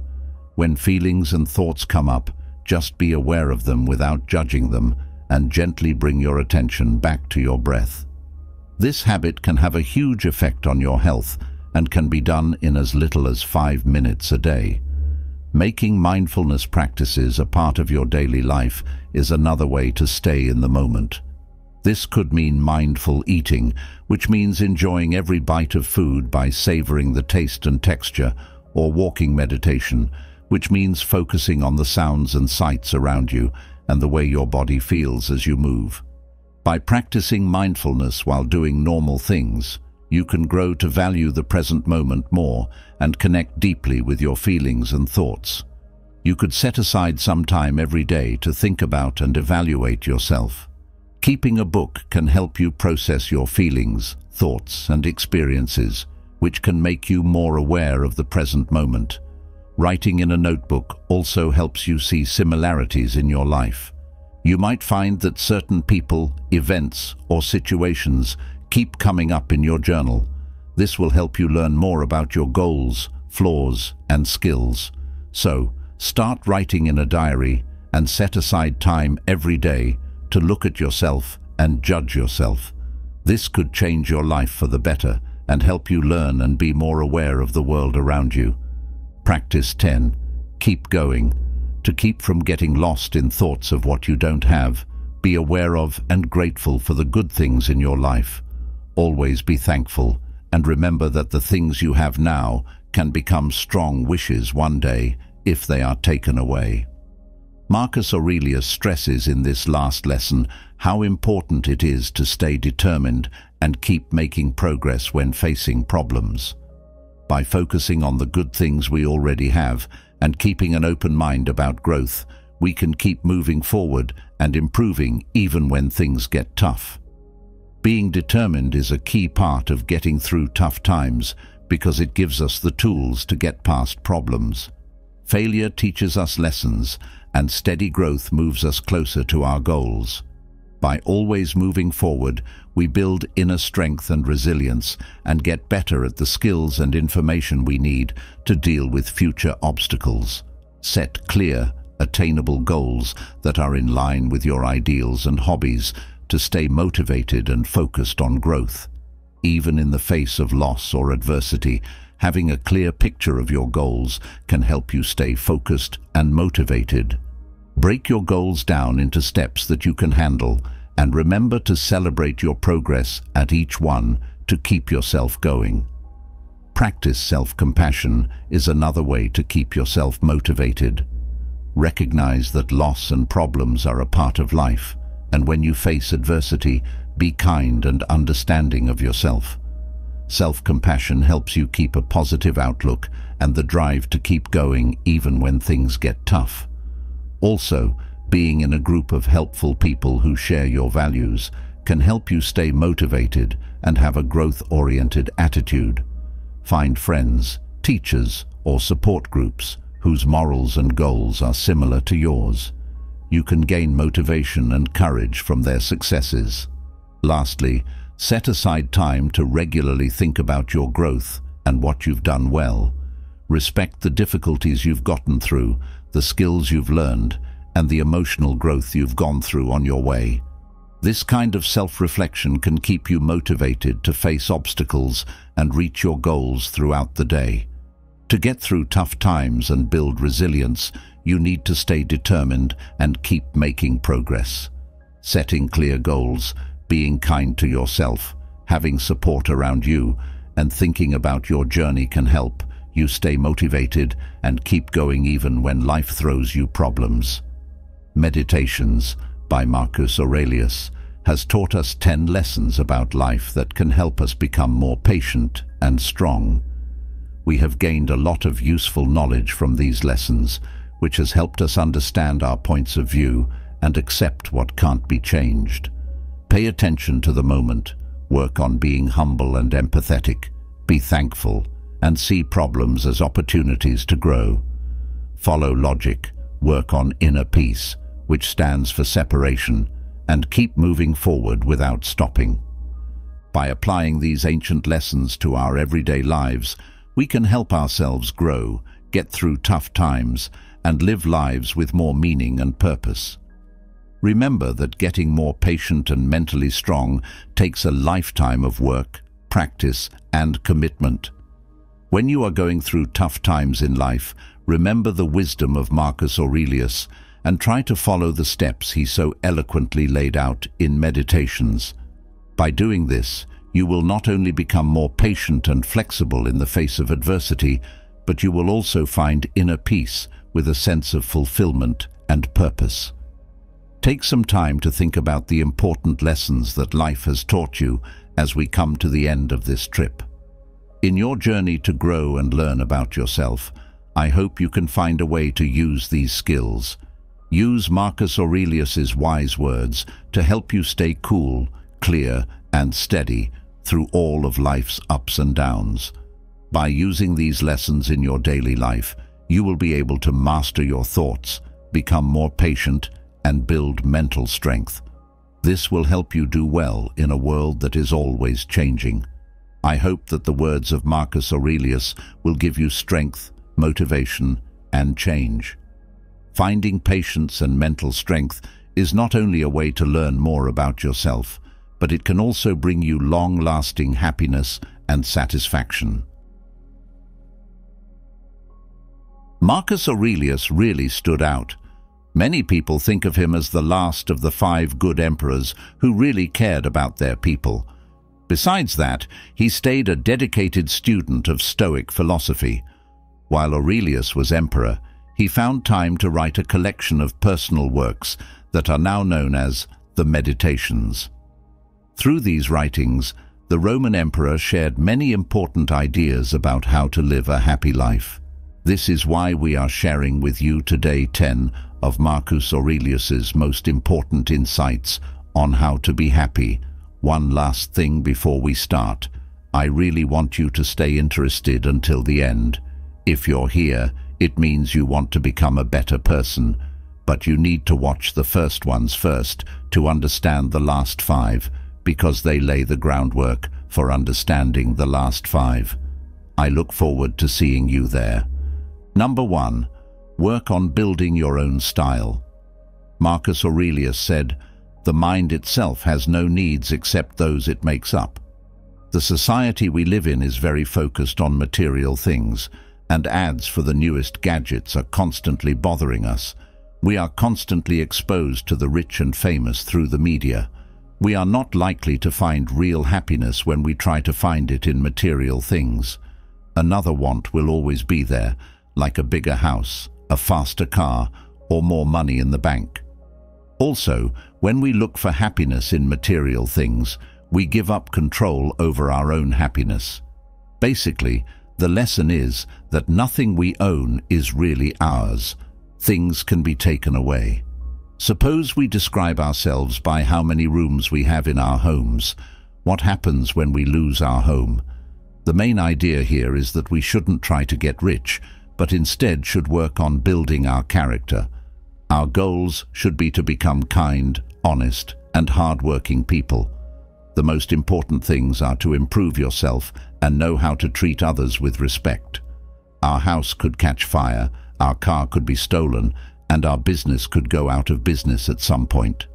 Our spirit is the one thing that can never be taken away from us. Character is the only thing that defines us and guides us through life. Character flaws or strengths can keep someone in good standing or bad, and this is often what leaves a permanent impression. Number two, stop looking for praise from other people. Marcus Aurelius says, no matter how good a life has been, there will still be people around the bed who welcome the sad event. There are 8 billion people in the world, and trying to live a life that pleases all of them is completely crazy. It can feel like our happiness depends on other people these days, whether we're trying to get hundreds of likes on Instagram or a date on Tinder. Still, there are ways to stop trying to please other people. The important thing is to start by addressing your own train of thought. Instead of looking for approval from other people, try to find real happiness by building a stronger relationship with yourself. Understand that if someone doesn't like you, it's not because you're not smart, funny or kind. No matter what you do or say, there will always be people who don't like you. So, it's smarter to live your life in the most honest way possible if you don't agree with someone's political view, don't act like you do. Also, if one of your friends says something hurtful, let them know. The French author André Gide said, It's better to be hated for who you are than loved for who you are not. Number three, only think about the things you can control and ignore the rest. Marcus Aurelius asks, Is the cucumber sour? Get rid of it. Are there thorns in the way? Get around them. That is all you need to know, not anything else. We are only in charge of two things in life, what we think and what we do. Only those. The rest is out of our reach. On the other hand, how often do we waste time and energy worrying about things we can't change? Anger and other strong emotions aren't always useless. Sometimes they push us to do something about wrongs. Despite this, there are many times when these feelings are pointless. Take traffic as an example. You can swear, yell and honk as much as you want, or you can turn on the radio and relax. The traffic will not let you go, and there is nothing you can do about it. No matter what, you can't tell other people what to say, do or think. So, pay less attention to other people and only think about your own life. Take your anger and use it to do something useful. It's too late when you lose control and react. You've already set off events that will make you feel regret and sadness later on. But when we're not angry, is the best time to think about our anger and rage. By being aware of and understanding what anger can do to you, you train your mind and emotions to act in a more gentle way when anger hits. Feel angry, but don't blow up. Instead, use your anger's energy and power to make something useful and artistic for yourself and others. Put your anger into things that will help others and inspire you. Fifth, having bad thoughts leads to having bad feelings. Your power to control your thoughts, treat it with respect, says Marcus Aurelius. It's everything that keeps your mind safe from false impressions, wrong about your nature and the nature of all rational beings. The bad feelings we often have are often caused by how we see things. Take the case of Ethan and Nathan, two friends who are asked to the birthday party of a friend they both know. Ethan is very friendly and excited to go to this party because he thinks it will be a great chance to meet lots of new people. Nathan, on the other hand, is upset and scared because he doesn't know anyone there and thinks he won't be able to find anyone to talk to. This is a great example of how two different people can respond very differently to the same event. We need to understand that the things that make us anxious, worried or angry aren't related to our surroundings. These feelings come from the way we think. Because of this, we have the power to give ourselves back and get control of our feelings. Be ready for anything that might happen. 6. Be ready for anything that might happen and act with resilience. Marcus Aurelius says, The art of living is more like wrestling than dancing, insofar as it stands ready against the accidental and the unforeseen and is not prone to falling. Resilience in the face of adversity and failures is the key to happiness. It's interesting how people who do well in life deal with adversity differently and, most importantly, are ready for whatever comes. Life for them is about making changes when things go wrong and finding the good in bad situations. No matter how scared or unwilling you are, you can take small steps and move forward when you don't let failure stop you. Look at life through the good lens of perspective and remember that time is always moving forward.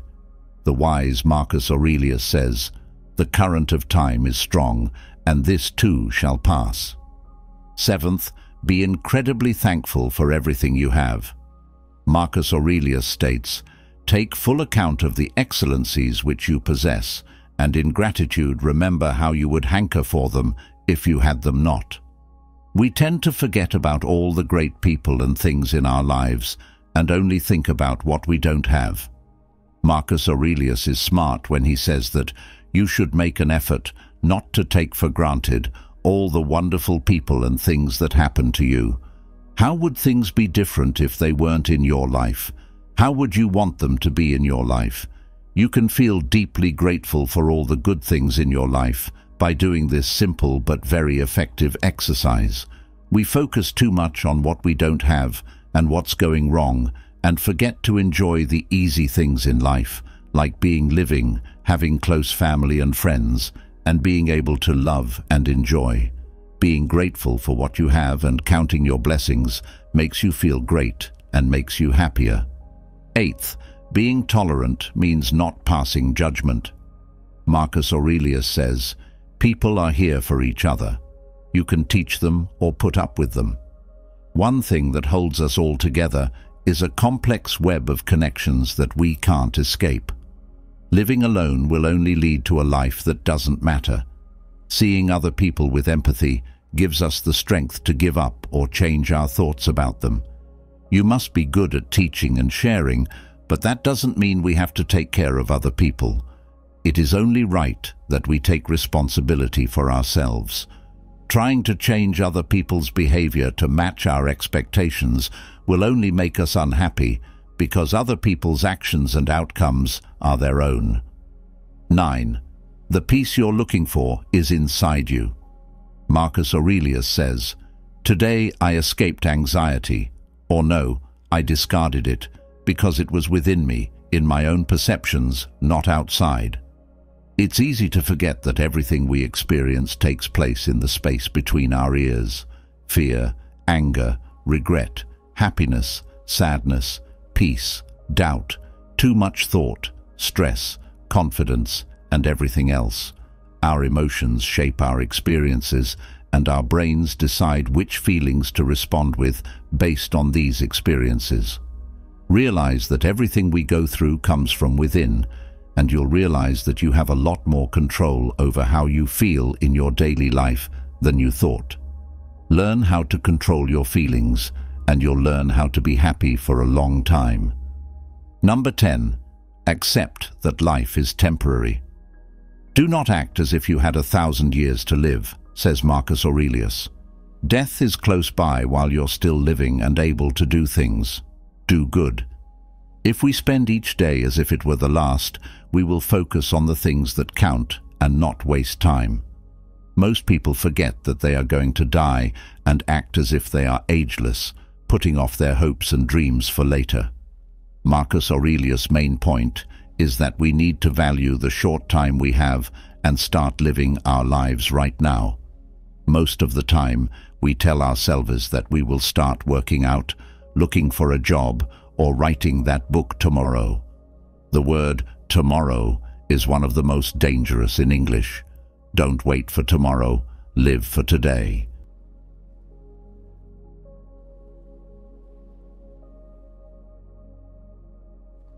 Did you ever think about why some people only show up when they need something from you? They take things without thinking and never give anything back. The world isn't as great as we think it is. People often put on a mask of intelligence to get what they want. Persons who take advantage of you will always be there, no matter how nice or helpful you are.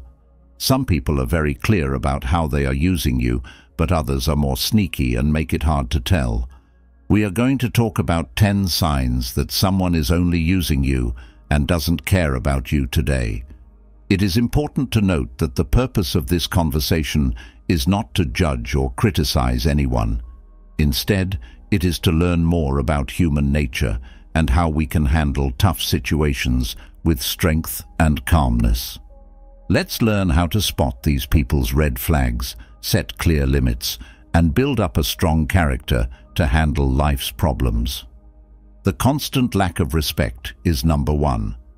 When there is a connection, lack of respect is not just one action, it's a pattern of actions that show a cold and uncaring attitude. Respect is something that all real friends and loyal companions always do, they show care and shared duty all the time. But people who take advantage of you often don't care about these simple rules. Upon closer inspection, this attitude forms a pattern of behavior that shows lack of care and greed. Even if you try hard, they will often criticize you without a good reason. They put down your work and will sometimes even make fun of or embarrass you in public. Imagine that your plans are suddenly cancelled or that other people are always late. It looks like they think you should change to fit their needs and wants. The way that person acts toward you shows that they don't value you.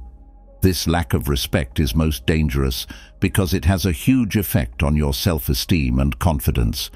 You might begin to doubt your skills and self-worth, and you might feel unimportant and underappreciated. This could make you feel hopeless, like you don't know what to do or even depressed. Still, it's important to remember that flaws are part of being human. When someone takes advantage of you, they do these things over and over again and don't try to stop or are aware that they are doing it. Life is always shifting and growing, and a lot of people feel stuck in a never-ending loop of trying to please others and find love, only to be turned down and ignored over and over again. Being aware that you deserve care and respect is important. There is no other kind of care that you should accept than that. I see your life as a trip on a ship, and you are the master of that trip. To boost your confidence, you need to know how much you're really worth. Number two, not keeping promises. There are promises after promises. One of the strongest ways to commit to a relationship and keep it going, but also one of the easiest to break. People who are trying to take advantage of you will often lie to you and put someone or something else ahead of you. Picture your relationship as a play where the words are the most important part and the deeds are just forgotten lines. People who break promises are often big parts in everyday drama. They seem concerned and promise to be there for you and be your friend in any situation, whether they are co-workers, friends, or even family. Though things aren't always what they seem. They might say they will help you with a job, be there for you when things get tough, or just talk and share. The important thing is that they often don't follow through on their actions and statements, like players who can't do well on stage. They want you to feel let down and lied to by those claims that don't seem to come true. Breaking vows is a big test because of this. It tells the difference between people who see relationships as two-way streets of mutual respect and support, and people who only see them as ways to get what they want.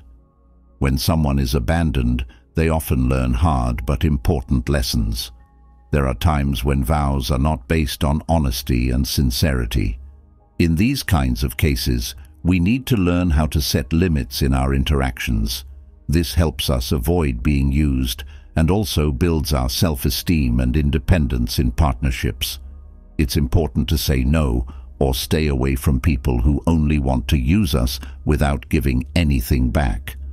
Early detection of unhealthy relationships and avoidance not only helps us stay safe, but it also frees up time and energy for more worthwhile and important relationships. Remember that what you know about yourself and do for yourself is what makes you valuable, not what other people get from you. Third, there's always competition. Each move in the board game, chess is carefully planned to both strengthen one's own position and weaken the opponent's.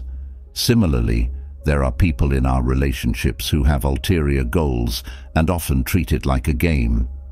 In this kind of relationship, you probably feel like you're not worth much or respected. The other person often seems aggressive, both when it's necessary and when it's not, which makes you feel nervous and stressed. Not only do they not care about what you have to say, but they also often cut you off or make fun of what you say. There are many ways that this constant competition shows up. When you're with this person, they often put themselves above you and make fun of even the smallest accomplishments. They don't share your happiness when you achieve something. Instead, they are jealous or try to bring down your successes. In the workplace, they often use behavior like making excuses, twisting the truth, or even lies to stay in charge. Not only does this hurt your trust, but it also makes meetings stressful and dangerous. When they try to show they are smarter, better or more successful, you can tell even in everyday talks. This kind of behavior comes from deep-seated fear and a skewed sense of one's own worth. Their sense of self-worth comes from beating other people, not from their own accomplishments. Every time they talk to you, it's like a competition. They have to win and you have to lose. That way of thinking gets in the way of shared growth so that people can look amazing and better. Not only does this relationship not give you the support and motivation you need, but it also has unhealthy competition that hurts your health and spirit. It makes things constantly stressful, so that competition takes the place of real teamwork or support. Your accomplishments are not praised.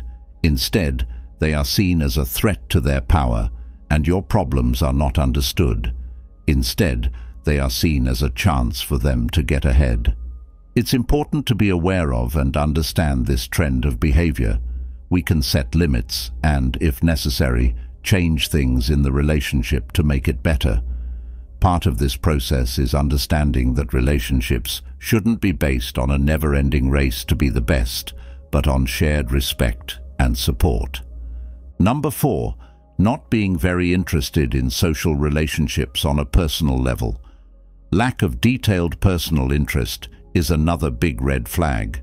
There is a lack of respect and personal bond, as well as a lack of interest in this. When someone doesn't care about or try to understand the little things in your life, it's likely that they see the connection as a way to get what they want instead of a two-way tie. You might notice that they forget things you've told them, like your fears, hobbies or dreams. They may also forget about days that are important to you, like your birthday or an anniversary. Along with making you feel ignored, this makes them think you're not worth anything. They also show that they aren't interested in you by how they respond to your feelings. They might make fun of or ignore your fears and sadness, even thinking that they are annoying or not important, not only does this make you feel alone in the relationship, but it can also make you feel unsafe talking about your feelings. Friends who only care about themselves and never ask about your life, feelings or dreams are an example of someone who is not personally interested in you. You feel like they don't care about you at all in this relationship. They just want to tell you their story. This person's lack of interest in you shows that what you can do for them is more important than who you are. In this case, you should ask yourself, is this connection worth putting more time and energy into? Showing care and interest doesn't always have to be big. It can be in the little things, like listening, remembering, and caring about how the other person feels. These things might not being there could mean that you need to rethink how important this relationship is to you being uninterested in a relationship is a sign that we need to rethink our ties and look for a place where we are valued and respected. If you've read this far, you are one of the few people who really wants to grow as a person. Fifth, surface connection and what it means. As a relationship goes on, casual link is common when one person only uses you and doesn't care about you. This sign is especially risky because it hides what the relationship is really like. People who want to take advantage of you usually don't want to make a deep bond with you. Interactions that don't go deeper than the surface show this habit. You might have this kind of relationship with a friend who doesn't care about how you feel or with a co-worker who only calls you when they need help. It can happen in family or love situations too, when one person only thinks about what they can get and not their feelings or wants. When this happens, we can tell that there isn't any real connection or care for the other person's feelings or well-being. People who use you usually see you as a way to get what they want, not thinking about what will happen to you or how their actions will affect you. When asked, they might show care or kindness, but this isn't always the case or true. A big problem with this kind of relationship is that it can hurt the person being used as mental health and sense of self-worth. When you don't feel cared for or praised all the time, you might start to doubt your own worth and think you can't change anything. Getting into this kind of friendship takes courage and knowledge of yourself. Realizing your own value and worth is important, and so is making clear limits. You need to have the courage to ask yourself things like, Am I putting my time and energy into a relationship that matters? Also, am I lowering my self-worth to keep up a shallow relationship? Keep in mind that you deserve connections that are real and honest. To protect your mind and soul, the first thing you need to do is learn how to spot a shallow relationship. Also, it's a chance for you to look for deeper, more useful relationships where you can really share and feel depth and exchange. Dhaka 6. Using emotions to get what you want. Being able to gently play with your feelings is a sign that someone is using you and doesn't care about you. Most of the time, they use your feelings against you to get what they want. They make situations that make you feel confused, sorry, or ashamed, which shows that they are like this. They know what to say or do to make you feel something, which makes it easy for them to control or change your choices. There are a lot of different and complex ways to manipulate people emotionally. They might praise you too much at times to make you feel like you owe them something, which they then use to push you to do things that are beyond your abilities. They might use the isolate and conquer approach to try to break down your ties with other people so that you feel alone and more open to their control. Not only does emotional trickery make people lose trust and self-esteem, but it also makes them doubt their own ability to judge the honest character of others. You might feel stuck in a bad relationship and not know how to get out of it because you've been tricked and lied to so much that you can't see the truth. When someone is manipulating someone else's mind, the balance of power always tips in their favor. They decide when to show love and when to pull away, which throws off your goal. Emotional manipulation is not about helping or growing each other. Instead, the manipulator only cares about meeting their own wants and doesn't think about the mental health of others. To spot psychological trickery, you need to be very aware of the ways that people constantly play with your feelings, you need to look deeper into yourself to learn more about how these exchanges impact your mood. This is the seventh thing, making you feel bad. If you feel used and uncared for in a relationship where one person is more important than the other, guilt can make you act out a lot. The person using this strategy is good at tricking you by playing on your sense of duty, compassion, or fairness. They might be upset or complain all the time about what you do or don't do, which can be hard on your emotions and mental health. They might say you're not good enough or that you can't live up to their standards, which can make you feel like you'll never be able to please them. This method of making people feel guilty is often sneaky and harmful. They may even pick out specific times when you need their help and make it seem like a bother in order to make you feel bad. They might ask, after everything I've done for you, is this how you treat me? To make you feel like you owe them something and can't say no to their requests. They might also make you feel bad about things that have nothing to do with them, like your own choices or your relationships with other people. This is one way they try to keep you from getting help or advice from family or friends. This approach works because it takes advantage of something basic about people, their need to see themselves as good, helpful, and loving. By making you feel bad about these good traits, the person using this method controls you. This makes you do things not because you want to, but because you feel like you have to, which can make you angry or tired.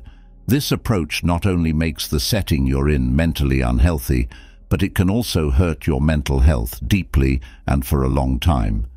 You might feel less sure of yourself and always feel unsure and unsafe. This could also make it harder for you to make and keep good interactions in the future. It is very important to protect your privacy and emotional health by being able to tell when someone is using guilt to control you. Finding this type of influence and dealing with it is a key part of building healthy relationships built on respect, real care, and free choice instead of guilt and duty. Eighth, not enough real backing. The lack of real help is the eighth factor, and it's something we can see in our own personal relationships. In relationships, you can often tell when someone doesn't care or isn't committed. They may be there when they need something from you, but when you need them, they are either not there or don't care. They only show up when it helps them. In these kinds of interactions, your goals, projects, and challenges are likely to be met with coldness or only empty words of support. The other person might not fully back your plans, they might just wish you well or say they do. Support that is there is usually only on the surface and not from the heart. This makes the connection less close and makes you feel like you're not respected or loved. A real friend will always be there for you, not just when they need you. In this case, you often feel alone, especially when things are hard. Not having real support can also make you feel alone and useless. You know they won't really care about you, which can have a lot of bad effects on your mental health and happiness. If you don't believe in your own worth and feel like you don't deserve love, you may start to doubt yourself and lose trust in partnerships. The lack of help is due to their attention being on their own needs. They look at the relationship like a business deal and judge emotional input by how much money they can make from it. When people have this attitude, one side always gives while the other side only gets, it can make them feel undervalued and forgotten. Being aware of this lack of real help is important for figuring out what kind of connection you have with that person. For this to work, you need to be honest about how much exchange exists in your relationships. Finding and dealing with this lack of support is a key part of making sure you spend your time and energy on relationships that are caring and helpful. 9 the ability to make a choice. When dealing with people, we often come across another important warning sign, being ready to choose. It's clear there's a problem when someone can easily ask for help when they need it, but acts strange and hard to talk to when we do. Consider this situation. You are often able to assist others by replying to different requests. You might be ready to listen and offer mental support, do small jobs or give them your full attention and care. People usually don't say anything when you're weak and need help, though.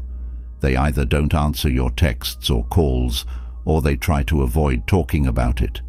In that case, that's how they act. Because of this pattern of behavior, the amount of giving and getting is not balanced. It feels like you're walking down a street where all the care and commitment go in one direction, but not the other. This trend shows not only that you don't care about your wants and feelings, but that you are ignoring them on purpose. So, readiness to choose is like a mirror that shows an uncomfortable truth. The person is only there when it's convenient for them to be.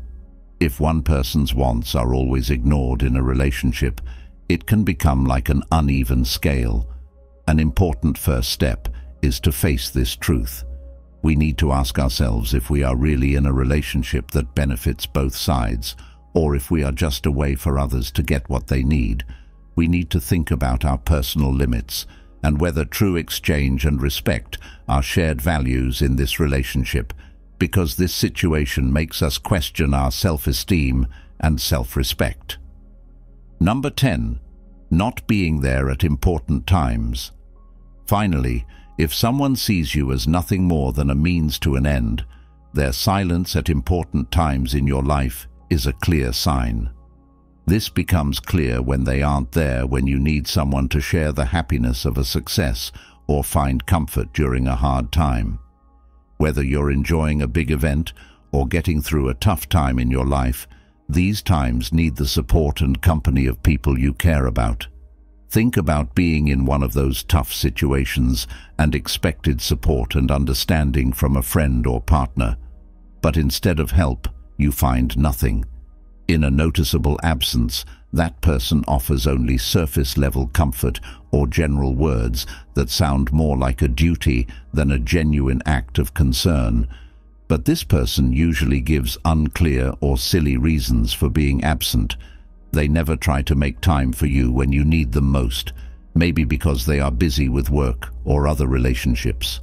These actions not only show that they don't respect you, but they also make it clear that you are not important to them.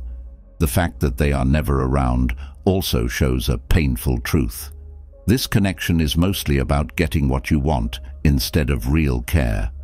They aren't there when you need help, but they show up out of nowhere with a list of things they want and need from you.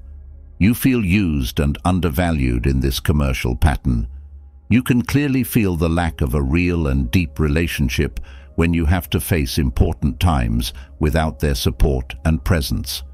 In the long run, this can make you lose trust and feel alone. People should love and care for you for who you are, not just as a way to get what they want. This is true even if you are in a relationship.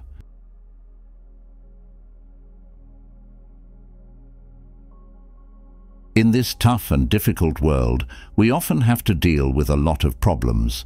But we need to form good habits if we want to get through these problems and live a more satisfying life.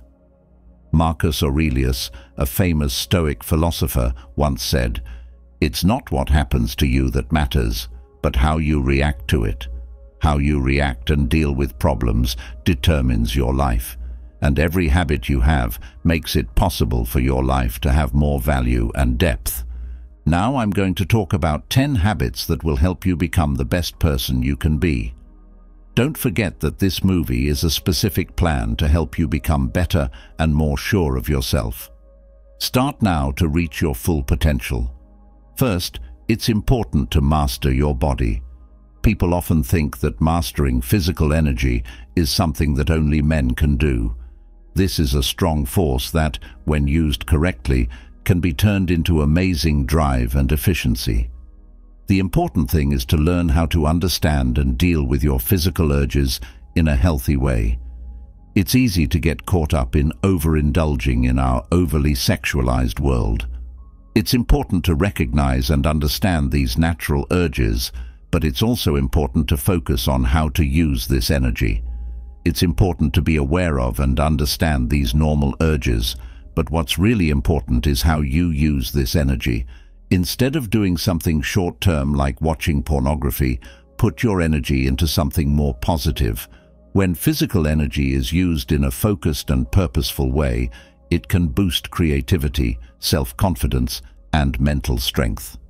Managing your desires gives you power, clarity, and more drive. Using sexual energy to get things done Imagine that you are a young man who wants to become a creative person. You are under a lot of stress and pressure from work and everyday life on this trip. You might feel determined and energized at first in the morning, but it's easy for you to lose focus and drive over time. In this case, being able to handle your sexual energy can help you. You decide to focus on your creative work instead of watching porn or doing other things that give you short-term joy. By doing this, you can turn your physical energy into a strong source of inspiration and courage to produce original works of art. You have more confidence, stay focused on your goals, and do well at work in the end. Second, take charge of your thoughts. Mastering your mind is the first and most important thing you need to do to solve the problems you face in life. Too often, men's problems get too much for them and they start crying and complaining. This not only makes them less manly, but it also makes their problems worse. How big a man is depends on how well he can deal with problems, and if you fail at even small problems, you make yourself look smaller. If you don't control your mind, you'll cause problems for yourself because your thoughts determine what you do. Remember that your mind will definitely rule you if you don't take control of it. It will lead you to bad habits and useless activities. Being aware of your feelings is the key to controlling them. You gain power by focusing on the present and being okay with your feelings and thinking. This isn't a quick fix, but a basic habit. Know that the power in your mind is huge and can do both good and bad things. Taking care of the path your life is taking rests on it. Third, making money is an important part of being a real man. It's true that money can't buy happiness, but it can get rid of the things that are holding you back. In a world where money is king, not having stable finances can make you helpless. It is important to see making money as one of your main duties as a provider. Some people hide the fact that they are having money problems by saying that money is the cause of all bad or doesn't make people happy. But these are just ways for them to deal with their problems and make excuses for their lack of money. Do not fall into that trap. Instead, accept that learning how to make money is important for your personal growth. Don't forget that it's never too late to learn about money and make things better for yourself. Even though money might not be everything in the future, it can help you live a better life. 4. Work out every day. Working out is the secret tool that can change your life. It's not enough to just look good. You should also feel great and get smarter. Working out every day is a strong habit that can help you deal with problems and reach your goals. Not only do you improve your physical health when you work out, but you also remove brain fog. A good workout can help you deal with many problems that seem impossible to solve. When you work out, endorphins are released, which send air to all parts of your body and clear your thoughts. You don't have to go to the gym to do this exercise. A quick workout at home or a fast walk will do. The key is to be consistent. If you work exercise into your daily life, you'll find that many of the problems that used to bother you are now easier to fix. You'll be stronger, more focused, and ready to face the difficulties of life head-on. Believe in the power of daily exercise. It's not just about getting in better shape, it's about becoming a better person. 5.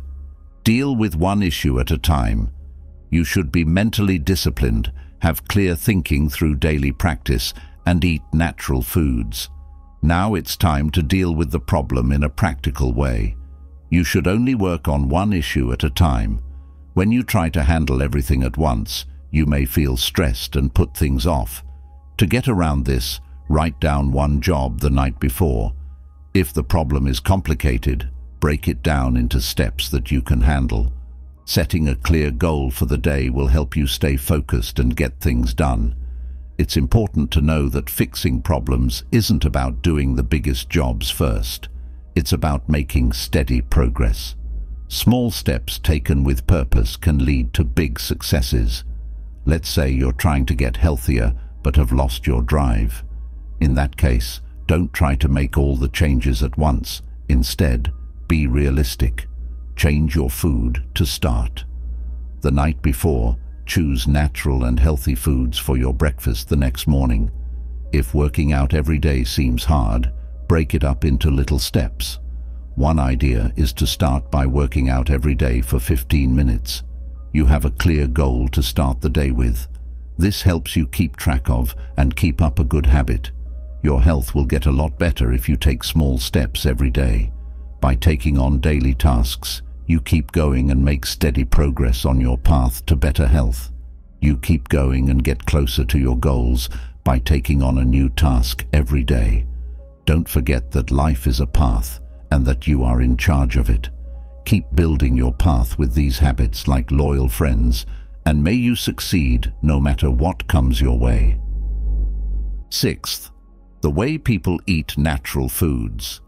This trait is very important for a man's ability to deal with problems in life. It's time to give up junk food and start eating healthy foods. Men, on the other hand, are not kids or easily moved by hormones. We eat with purpose.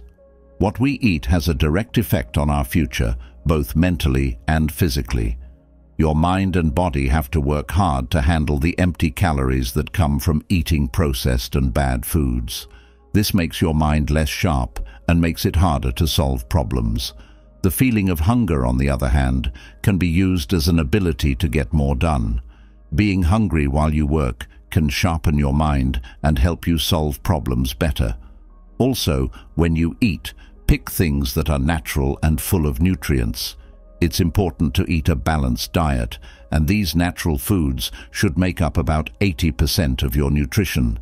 They give your body and mind energy.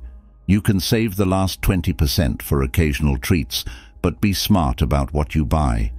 Instead of giving in to bad habits, Dietary discipline teaches you to think about the value and benefits of real, natural foods, which makes you less hungry for unhealthy snacks. A healthy body will be better able to handle the difficulties of life. Imagine a young man who eats a lot of processed foods and fast food, as well as foods that are high in sugar and fat. Even though he has a stressful job and a lot of problems in his life, he makes bad food choices.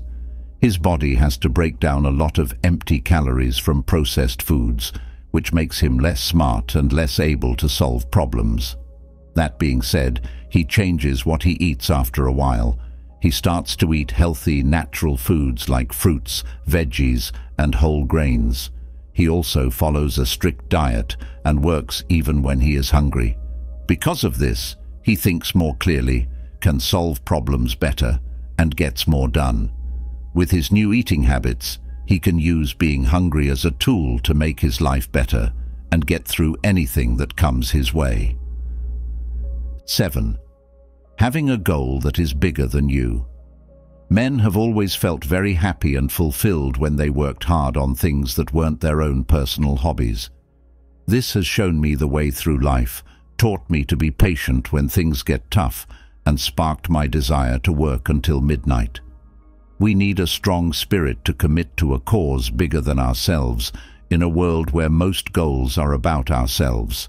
Small things that bother you usually don't bother you as much when you have a selfless goal in mind. Living your life with such a goal gives you a better understanding of how your life fits into the bigger picture. Think about the life of Mahatma Gandhi, who is one of the most famous people in history, he was fighting for India's freedom from British colonial rule, which was a cause bigger than himself. Not only did he fight for the freedom of his own people, but he also stood for the non-violent philosophy and social harmony. Gandhi's path wasn't always smooth. He had to deal with trials, jail time, and even death threats. He was patient, though, and never gave up on his goal. He finally won India's freedom and became a symbol of love and suffering for all people. Finding a cause bigger than yourself and dedicating your life to it is what Gandhi did. People remember him as one of the most important people in history and the great things he did. Think about the impact you want to leave behind to find your goal. How would you like people to remember you? What do you want to change about the world? Thinking about these questions can help you find your big goals. Once you know what it is, do everything you do every day with respect to complete this goal. Serving something bigger than yourself makes you happy, brings you satisfaction, and improves balance in your life. Number 8. Building grit and resilience. Life is unpredictable, and sometimes you have to deal with problems and setbacks that seem impossible to overcome. At this point, having courage and sticking with it are very important. A person's capacity for self-control and resilience in the face of adversity is determined by these traits. Instead of causing us to crumble under pressure, life's ups and downs test our resilience. Instead, we can use these problems as opportunities to get better, value them, and learn from your mistakes. Learning how to fight even when things go wrong is important. It takes courage and desire to develop an attitude of persistence and constant growth. Take these ideals to heart and use them as tools in your life. Even adversity can be turned into a chance for growth if you have courage and perseverance. Imagine you are a young person who wants to work in music. You've learned how to play the guitar and want to get really good at it. On your trip, though, you face many problems. At first, you might not feel good enough and not even know how to play an easy tune. That's not what you do, though. You decide to practice every day. You look at every problem you have with learning music as a chance to learn and get better. You look for advice from singers with more experience, take music lessons, and even write your own music. Over time, if you keep at it and are very determined, you start to get a lot better. People start to notice how good you are when you play more difficult pieces of music. You might even get to play in front of a big crowd one day. It looks like your strength and determination have helped you get better at singing and reach your personal goals. This shows that even the hardest things in life can be turned into chances to learn and succeed. 9. Doing as few pointless things as possible in this digital world. Many attention-getting apps and platforms like social media, online viewing and video games make it hard to cut down on useless activities in the digital age, even though they have many benefits. It gives you adrenaline right away, but it doesn't help you in the long run. While it's fine to do these things for fun and relaxing, spending too much time on them can make you less productive and less motivated. The key is to figure out what user-generated content is and how much time you spend on it. In your idle time, you should try to be more creative. Life isn't fancy about time itself, but about how we choose to spend it. Spend your time on things that will help you in the long run, like learning new skills, growing your knowledge, making new friends, and helping other people. You can grow as a person by learning to mix free time with things that have a reason. Cutting down on useless activities will give you more time to work on yourself. We often face difficult and stressful events in our daily lives. One example is going through a bad thing at work, like losing a big job. Stoic philosophy tells us to deal with our feelings and accept change instead of getting angry and worried. We can learn to pay attention to the things we can change, like how we respond and what we can learn from the event. This helps us keep our emotions in check and keep us from getting overwhelmed by bad feelings. Tenth, strive for greatness. The goal of greatness is the sum of all the lessons that have come before it. It's a promise to keep pushing your own style in all areas of your life, whether they are mental, spiritual, emotional, or physical. It takes determination, focus, energy, and a strong desire to grow as a person. Excellence doesn't mean being better than other people. It means always being better than your own standards. Take the example of a sports fan who wants to get in better shape. You decide to run the same distance every day. Your comfort zone doesn't hold you back. Instead, you push yourself and run farther. You learn how to eat well and make time to exercise as well.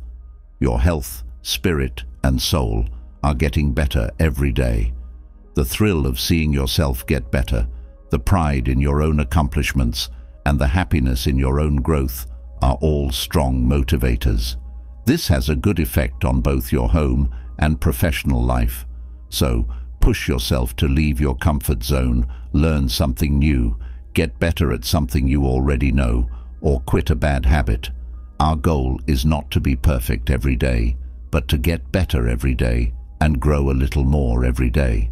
There is no better feeling than making progress, being satisfied with your growth, and being happy with your own personal growth.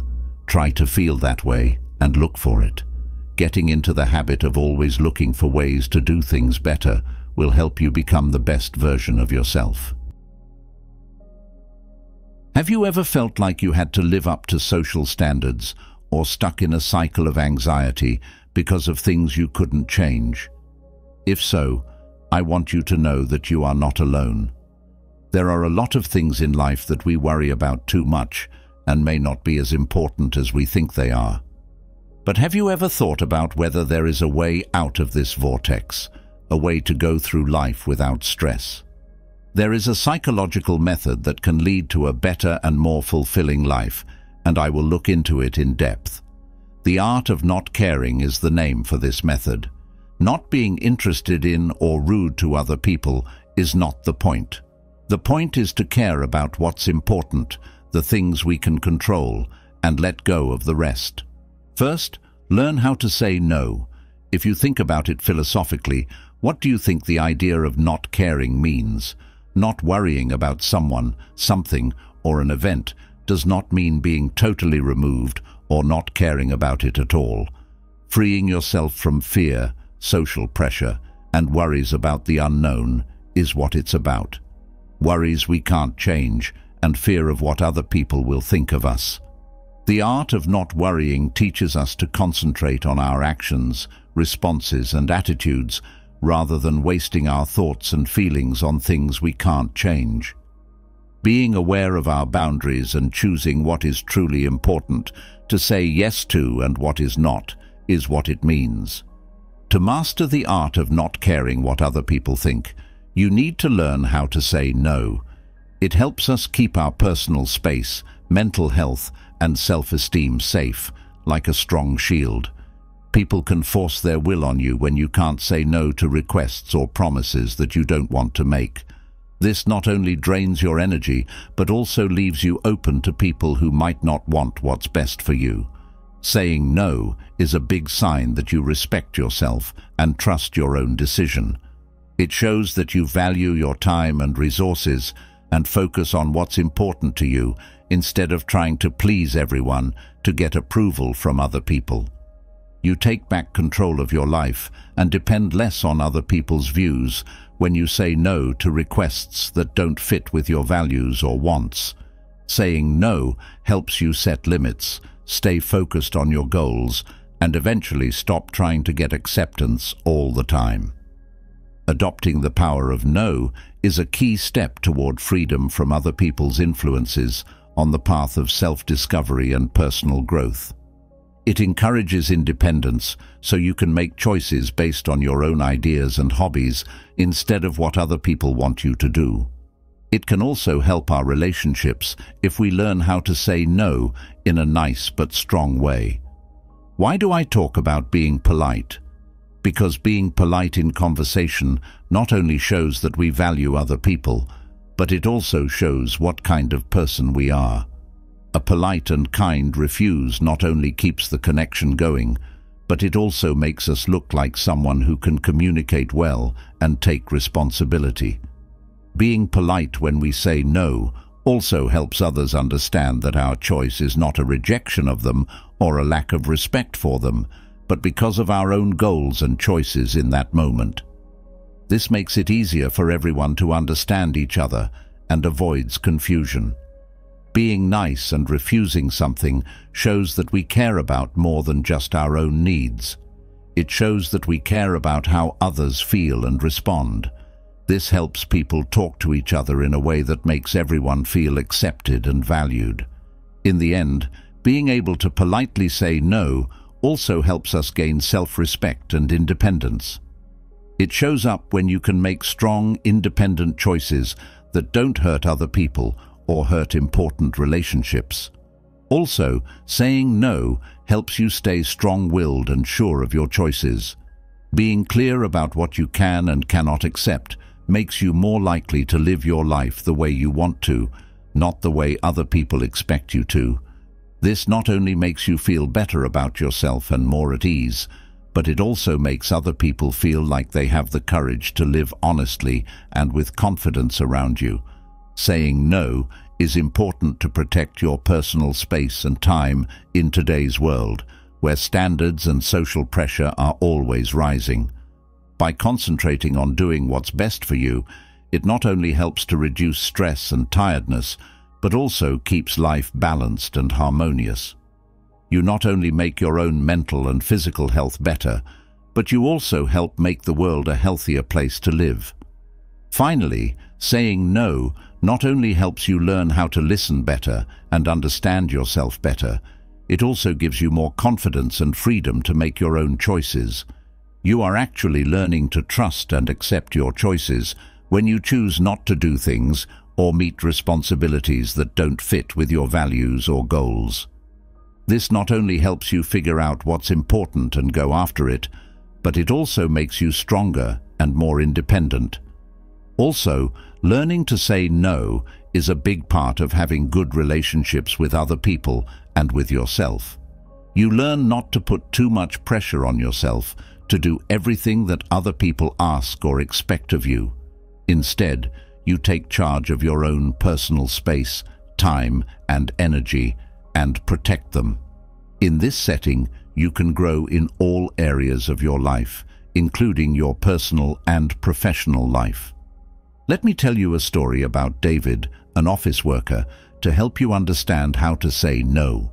David, a graphic artist, felt like he had too much to do because he never turned down extra work. When his boss asked him to do extra work over the weekend, he politely said no and said he needed to balance work and personal life. David suggested that the work be split up among other co-workers so that the project could be finished without hurting his own schedule. David felt more in charge of his work and life, which made him less stressed and raised his self-esteem. His boss liked how professional he was. To sum up, Learning how to say no is an important part of growing as a person. The most important thing is that it helps you live a fulfilling life that is true to your ideals and strengths. Managing your time and work well is important, but this skill is also important for keeping your mind healthy and living a calm, happy life. Stop asking for permission, number two.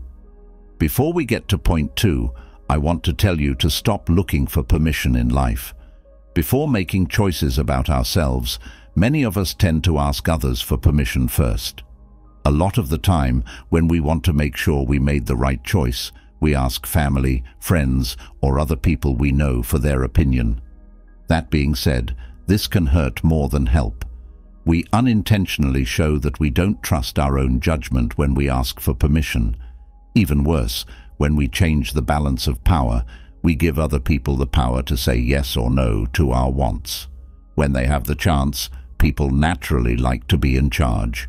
So, asking for permission can lead to unwanted meddling and stop you from growing as a person.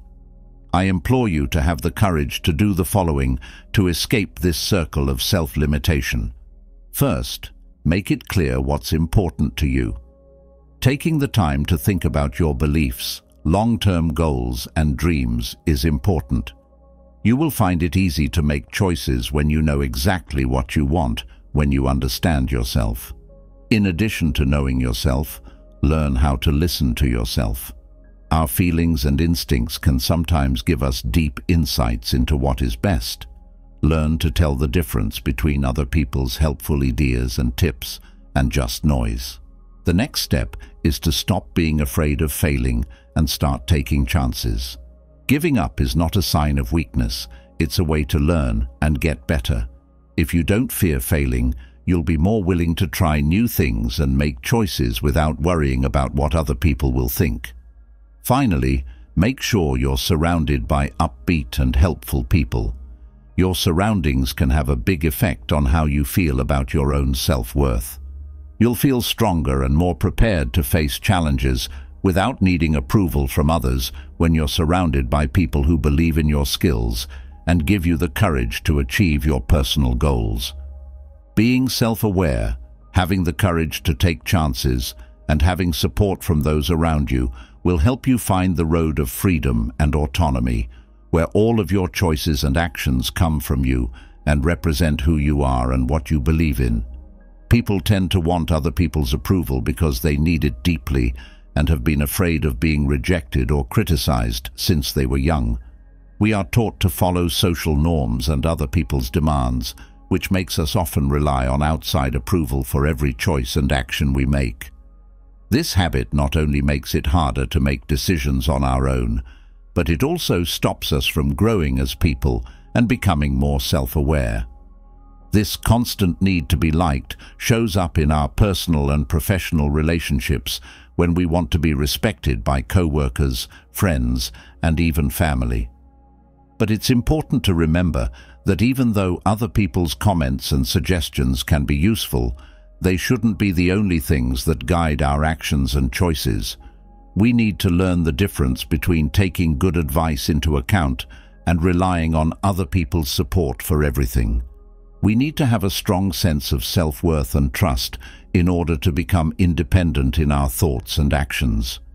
Being able to make good decisions and having clear goals and values in life are two ways to do this.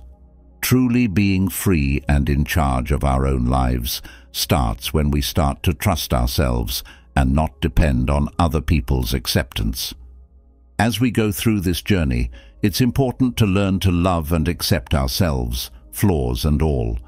This will help us make decisions on our own and give us more confidence in our daily lives. Also, asking for permission all the time can make you feel less independent and lower your self-esteem. We lose faith in ourselves and our ability to handle life's problems when we let other people decide what to do. Building up self-reliance and trust is what needs to be done. Realizing your skills, accepting your weaknesses, and knowing it's okay to make mistakes are all parts of this. Making mistakes is an important part of learning and growing as a person. The first and most important thing you can do to become more independent is to set and work towards small but important personal goals. Begin with little things that are simple to do. On the other hand, this can help you act on your own without needing other people's permission or agreement.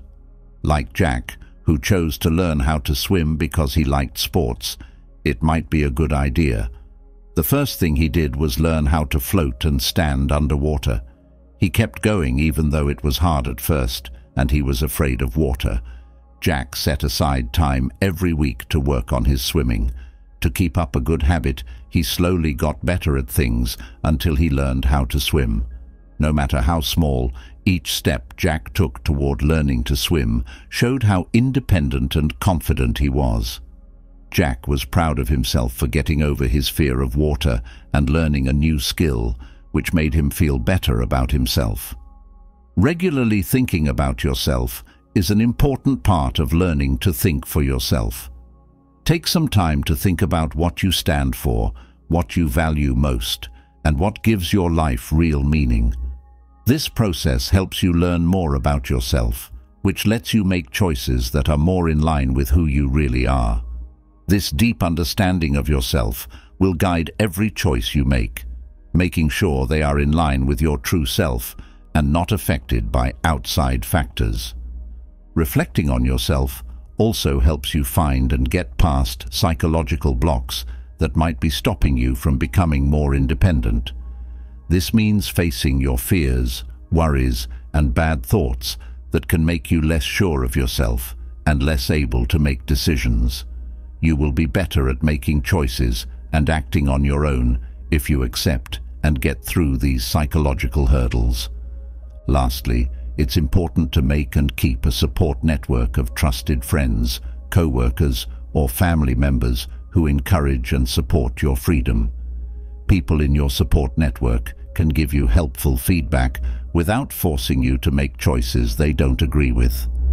Be patient on your way to becoming self-reliant and know that it will happen over time. This will not only help you make better choices, but it will also make you stronger and more sure of yourself. Third, come up with your own idea of what success means to you. Understanding what success means to you is a life-changing process that can help you break free from social norms. In a world where traditional ideas about what success looks like are common, it's important to break these ideas and make your own way. Being successful isn't a set idea. It's very personal and depends on your own goals and ideals. Your life will have more meaning and depth if you put success in your own words. This helps you keep your attention on what's important to you and not get sidetracked by trying to reach someone else's idea of success. Whether it's reaching a certain job goal, getting good at a certain skill, or making connections with people that matter, your description should include all of your interests and goals. Not only does describing success help you set personal goals and values, it also helps you make a clear plan to go after it. It helps you understand the exact steps you need to take to reach your goals and becomes a guide for your path. This gives you confidence and helps you focus on the most important things so you can reach your goals on your own terms. By setting your own standards for success, you also remove yourself from other people's views and judgments. You no longer need outside approval because you know what success means to you. This confidence gives you the power to drive yourself and work harder toward your goals without worrying about what other people think. This means that you are completely in charge of your path and don't let outside factors affect the choices you make. Remember that only you can write your own success story. You don't have to follow the rules and ideals that society has set. When you accept and talk about your own idea of success, you start an important journey to honor yourself and follow a deep-seated wish in your heart. This journey isn't just about getting what you want out of life. It's also about building a life that makes you happy and true to yourself. You will live your life honestly and enjoy each moment in your own special way if you dare to define success on your own terms. Allow me to tell you about Alex's luck. Ever since he was a kid, Alex has entered and won many small prizes in drawing contests in his area. His friends and family have always praised him for his artistic ability and urged him to enter national events or pursue a job as a professional artist. Alex loves art, but charity work and helping other people are even more important to him. Alex has chosen that instead of becoming famous and having artistic success, he will find real success in helping others and doing good things in the world. He has spent a lot of time and energy making art programs for kids who don't have much, and he has also done charity work to help people in need. For Alex, success doesn't mean getting art awards or becoming a popular artist. It means making other people's lives better and making the community around him stronger. Don't be afraid to set your own success standards and goals. That's how you'll make your life story truly unique and important. Number four, make a smart choice. We can only do so much in life because we all care about different things. It's important to choose for ourselves what's important and where we should put our attention. A lot of the time, we care too much about what random people, unimportant trends, or internet approval that doesn't matter think. These things that take our attention away from our goals, dreams, and important personal growth often lead us wrong and make us lose focus. Take a moment to think about this. When we focus too much on small things, we might forget about the things that really matter in our lives. This makes us want to be average, which is something we should try to avoid. If we let unimportant thoughts and views take over our minds, we might not be able to concentrate on important problems and bright dreams. Now is the time to work on improving ourselves, take advantage of chances, and follow our hobbies. We can make sure we don't miss the chance to thrive and shine by reducing these small and unimportant things. So, ask yourself, what am I putting my time and effort into? Decide for sure what's important to you and give it some thought before letting the clouds of distractions fall on your way. This not only helps you stay focused, but it also helps you make your own path, one that is marked by accomplishments and being different. It's important to make smart decisions so that other people's views don't affect you. To do this, we should put our interests, dreams and personal growth first. Strangers' views lose their power over our lives over time when we focus all of our energy and soul on important goals and dreams. Imagine that you are an enthusiastic artist who wants to make a name for yourself. At first, you were only interested in what other people thought and how many likes you had on social media. You got sidetracked from your goals, but after a while, you chose to stop thinking about what other people thought and just focus on learning and making things. Because of this, you created your own style and became known in the art world. I want to remember you through the above example that time is valuable and limited, and every minute we waste worrying about unimportant opinions is a minute we lose on our way to success and happiness. So, make smart decisions and put your energy and time into the things that really matter in life. Always keep in mind that the choices you make today will lead you to an exciting tomorrow. Don't let unimportant things and odd views take you away from your real dreams and goals. Do not be afraid to start your journey. Lead it in the way you really want and believe in. Fifth, don't be scared. In a society that values uniformity, the fear of failing or facing other people can hold you back. This is why being bold is an important life concept. Being brave is the first thing that you need to do to stop caring what other people think. Know this, you can't make everyone happy, and trying to do so will only stop you from growing and expressing yourself. Standing up for yourself with courage when you say what you really think shows that you are strong inside and that you have strong morals. It is important to understand that trying to please everyone can make you less unique and stop you from reaching your full potential. This knowledge is important because it frees you from having to depend on other people's opinions to decide how valuable you are. You can be sure that not everyone will agree with you. There may even be criticism or resistance. But it's important not to let these views change how confident and determined you are. Being sure that you can live your life according to your ideals and beliefs is a sign of inner power. You don't have to try to please everyone. Instead, focus on being your best self and staying true to the road you believe in. Have the courage to go your own way. Just like a cat that doesn't care what the other animals think, that's how you show how determined and strong you are. This gives you the freedom to follow your dreams and interests without worrying about what other people will think or what society says. This shows that you are strong and believe in your own worth, while also protecting your privacy and freedom. Step out on your own and enjoy the freedom and happiness that comes with it. It shows authenticity and dedication to your personal values, to stand up for what you believe in. This can mean facing resistance or making friends along the way, but it's an important part of building a useful and successful life. This action not only confirms who you really are, but it also makes it clear that you don't give in to outside pressure or the need for support from everyone. Instead, you put personal growth ideals and your journey ahead of everything else. For instance, you might decide not to marry at the normal age because that's not what society expects of you. Instead, you might choose to stay single or study abroad and see the world.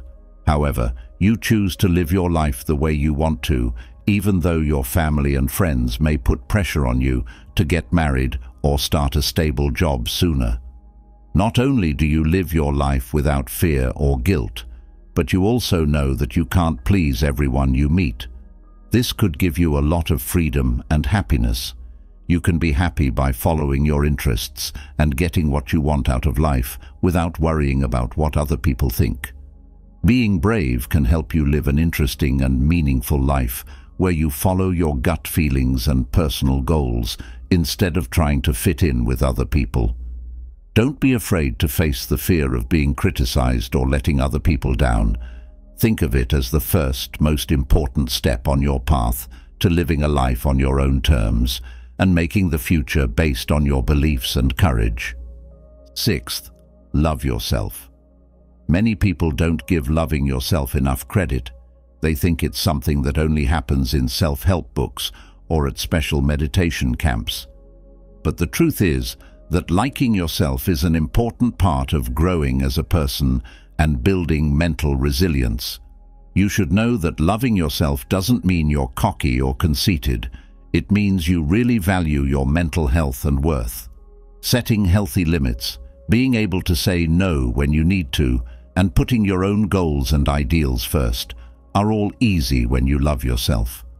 Other people's opinions don't affect you because your self-esteem isn't based on what other people say. Self-love helps you make choices that are in line with who you really are instead of always trying to fit in or get support from other people. In addition to making you happy with who you are, this sets you up for a healthy and balanced life. When you love yourself, you're better able to deal with problems and turn stress and uncertainty into chances to grow and improve yourself. Self-satisfaction or ego are not signs of loving yourself.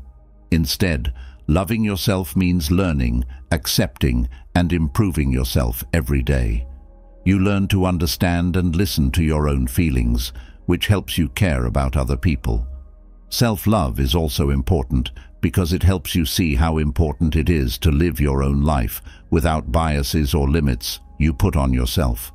Your way of thinking changes and you become more open to adapting and accepting change. This is good for your own growth and for the people around you.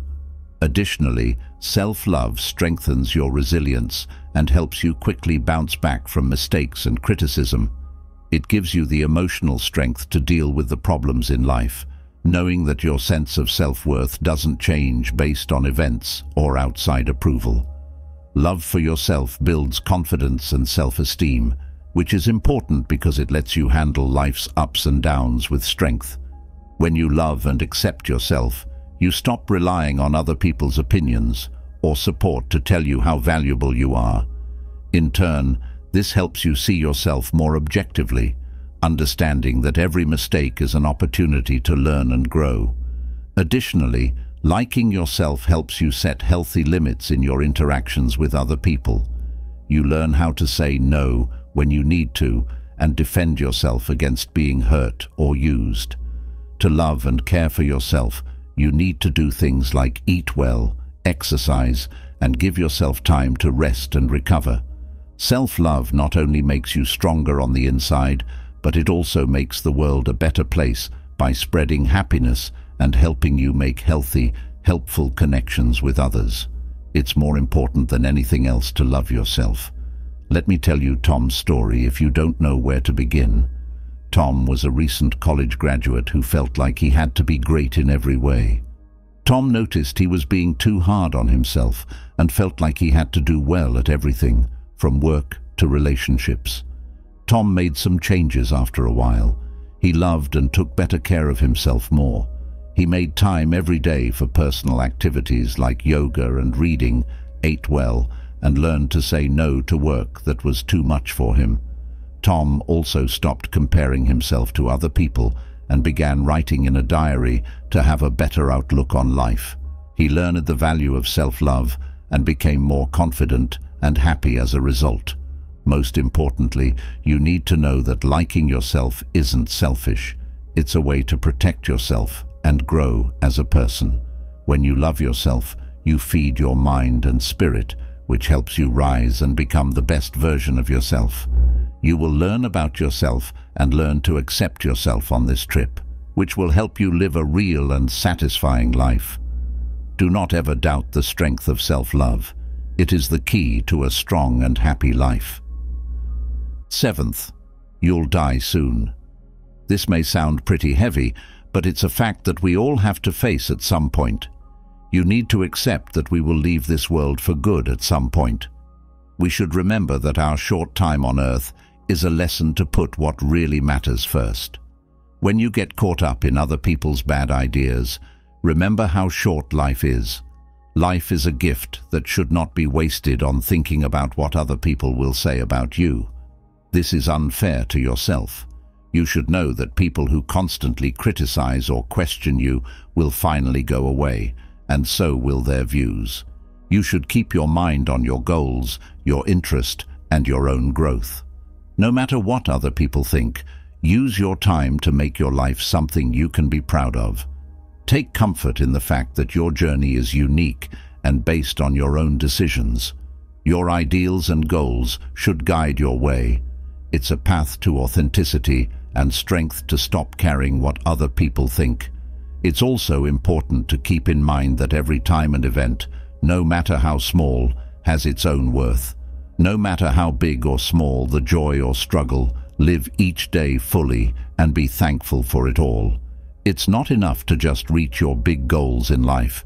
You need to find meaning and happiness along the way. Don't forget that you only need to show something to yourself. No one but you can decide how much you're worth. Last but not least, take every chance to learn, love, and do things that make you feel alive and happy. That's how you write your own story, one that people will always want to hear and remember. Each day brings you new options and problems to solve. How you handle these will determine the course of your story. Don't forget that every problem is a chance to learn and grow. Don't forget that happiness is a process, not a goal. Each step in life is important and has its own meaning. Every day, be thankful, happy, and open to what comes your way. This is how you make a story that is both special and important, one that you'll be happy to tell your children and grandchildren. Let's say you're Leo, a young biology expert whose family and friends didn't believe in his job choice. Even though there was pressure, he kept following his love for biology. Through study and going to workshops, Leo slowly made a name for himself in his field. In the end, he had a great deal of success, proved himself to the science community, and showed how important it is to live a true life with personal goals and desire. Finally, keep in mind that there are many opinions in the world, but not all of them matter. You have real power when you care about things that are in line with your morals and goals. If you follow these seven important lessons, you can stop trying to please other people and focus on what really counts in your life. Hold on to your own opinion, be selective about where you put your energy, and learn to say no when you need to. So, go forward with faith, tune out the noise, and live your life as it really is because in the end, what counts is how you feel about yourself.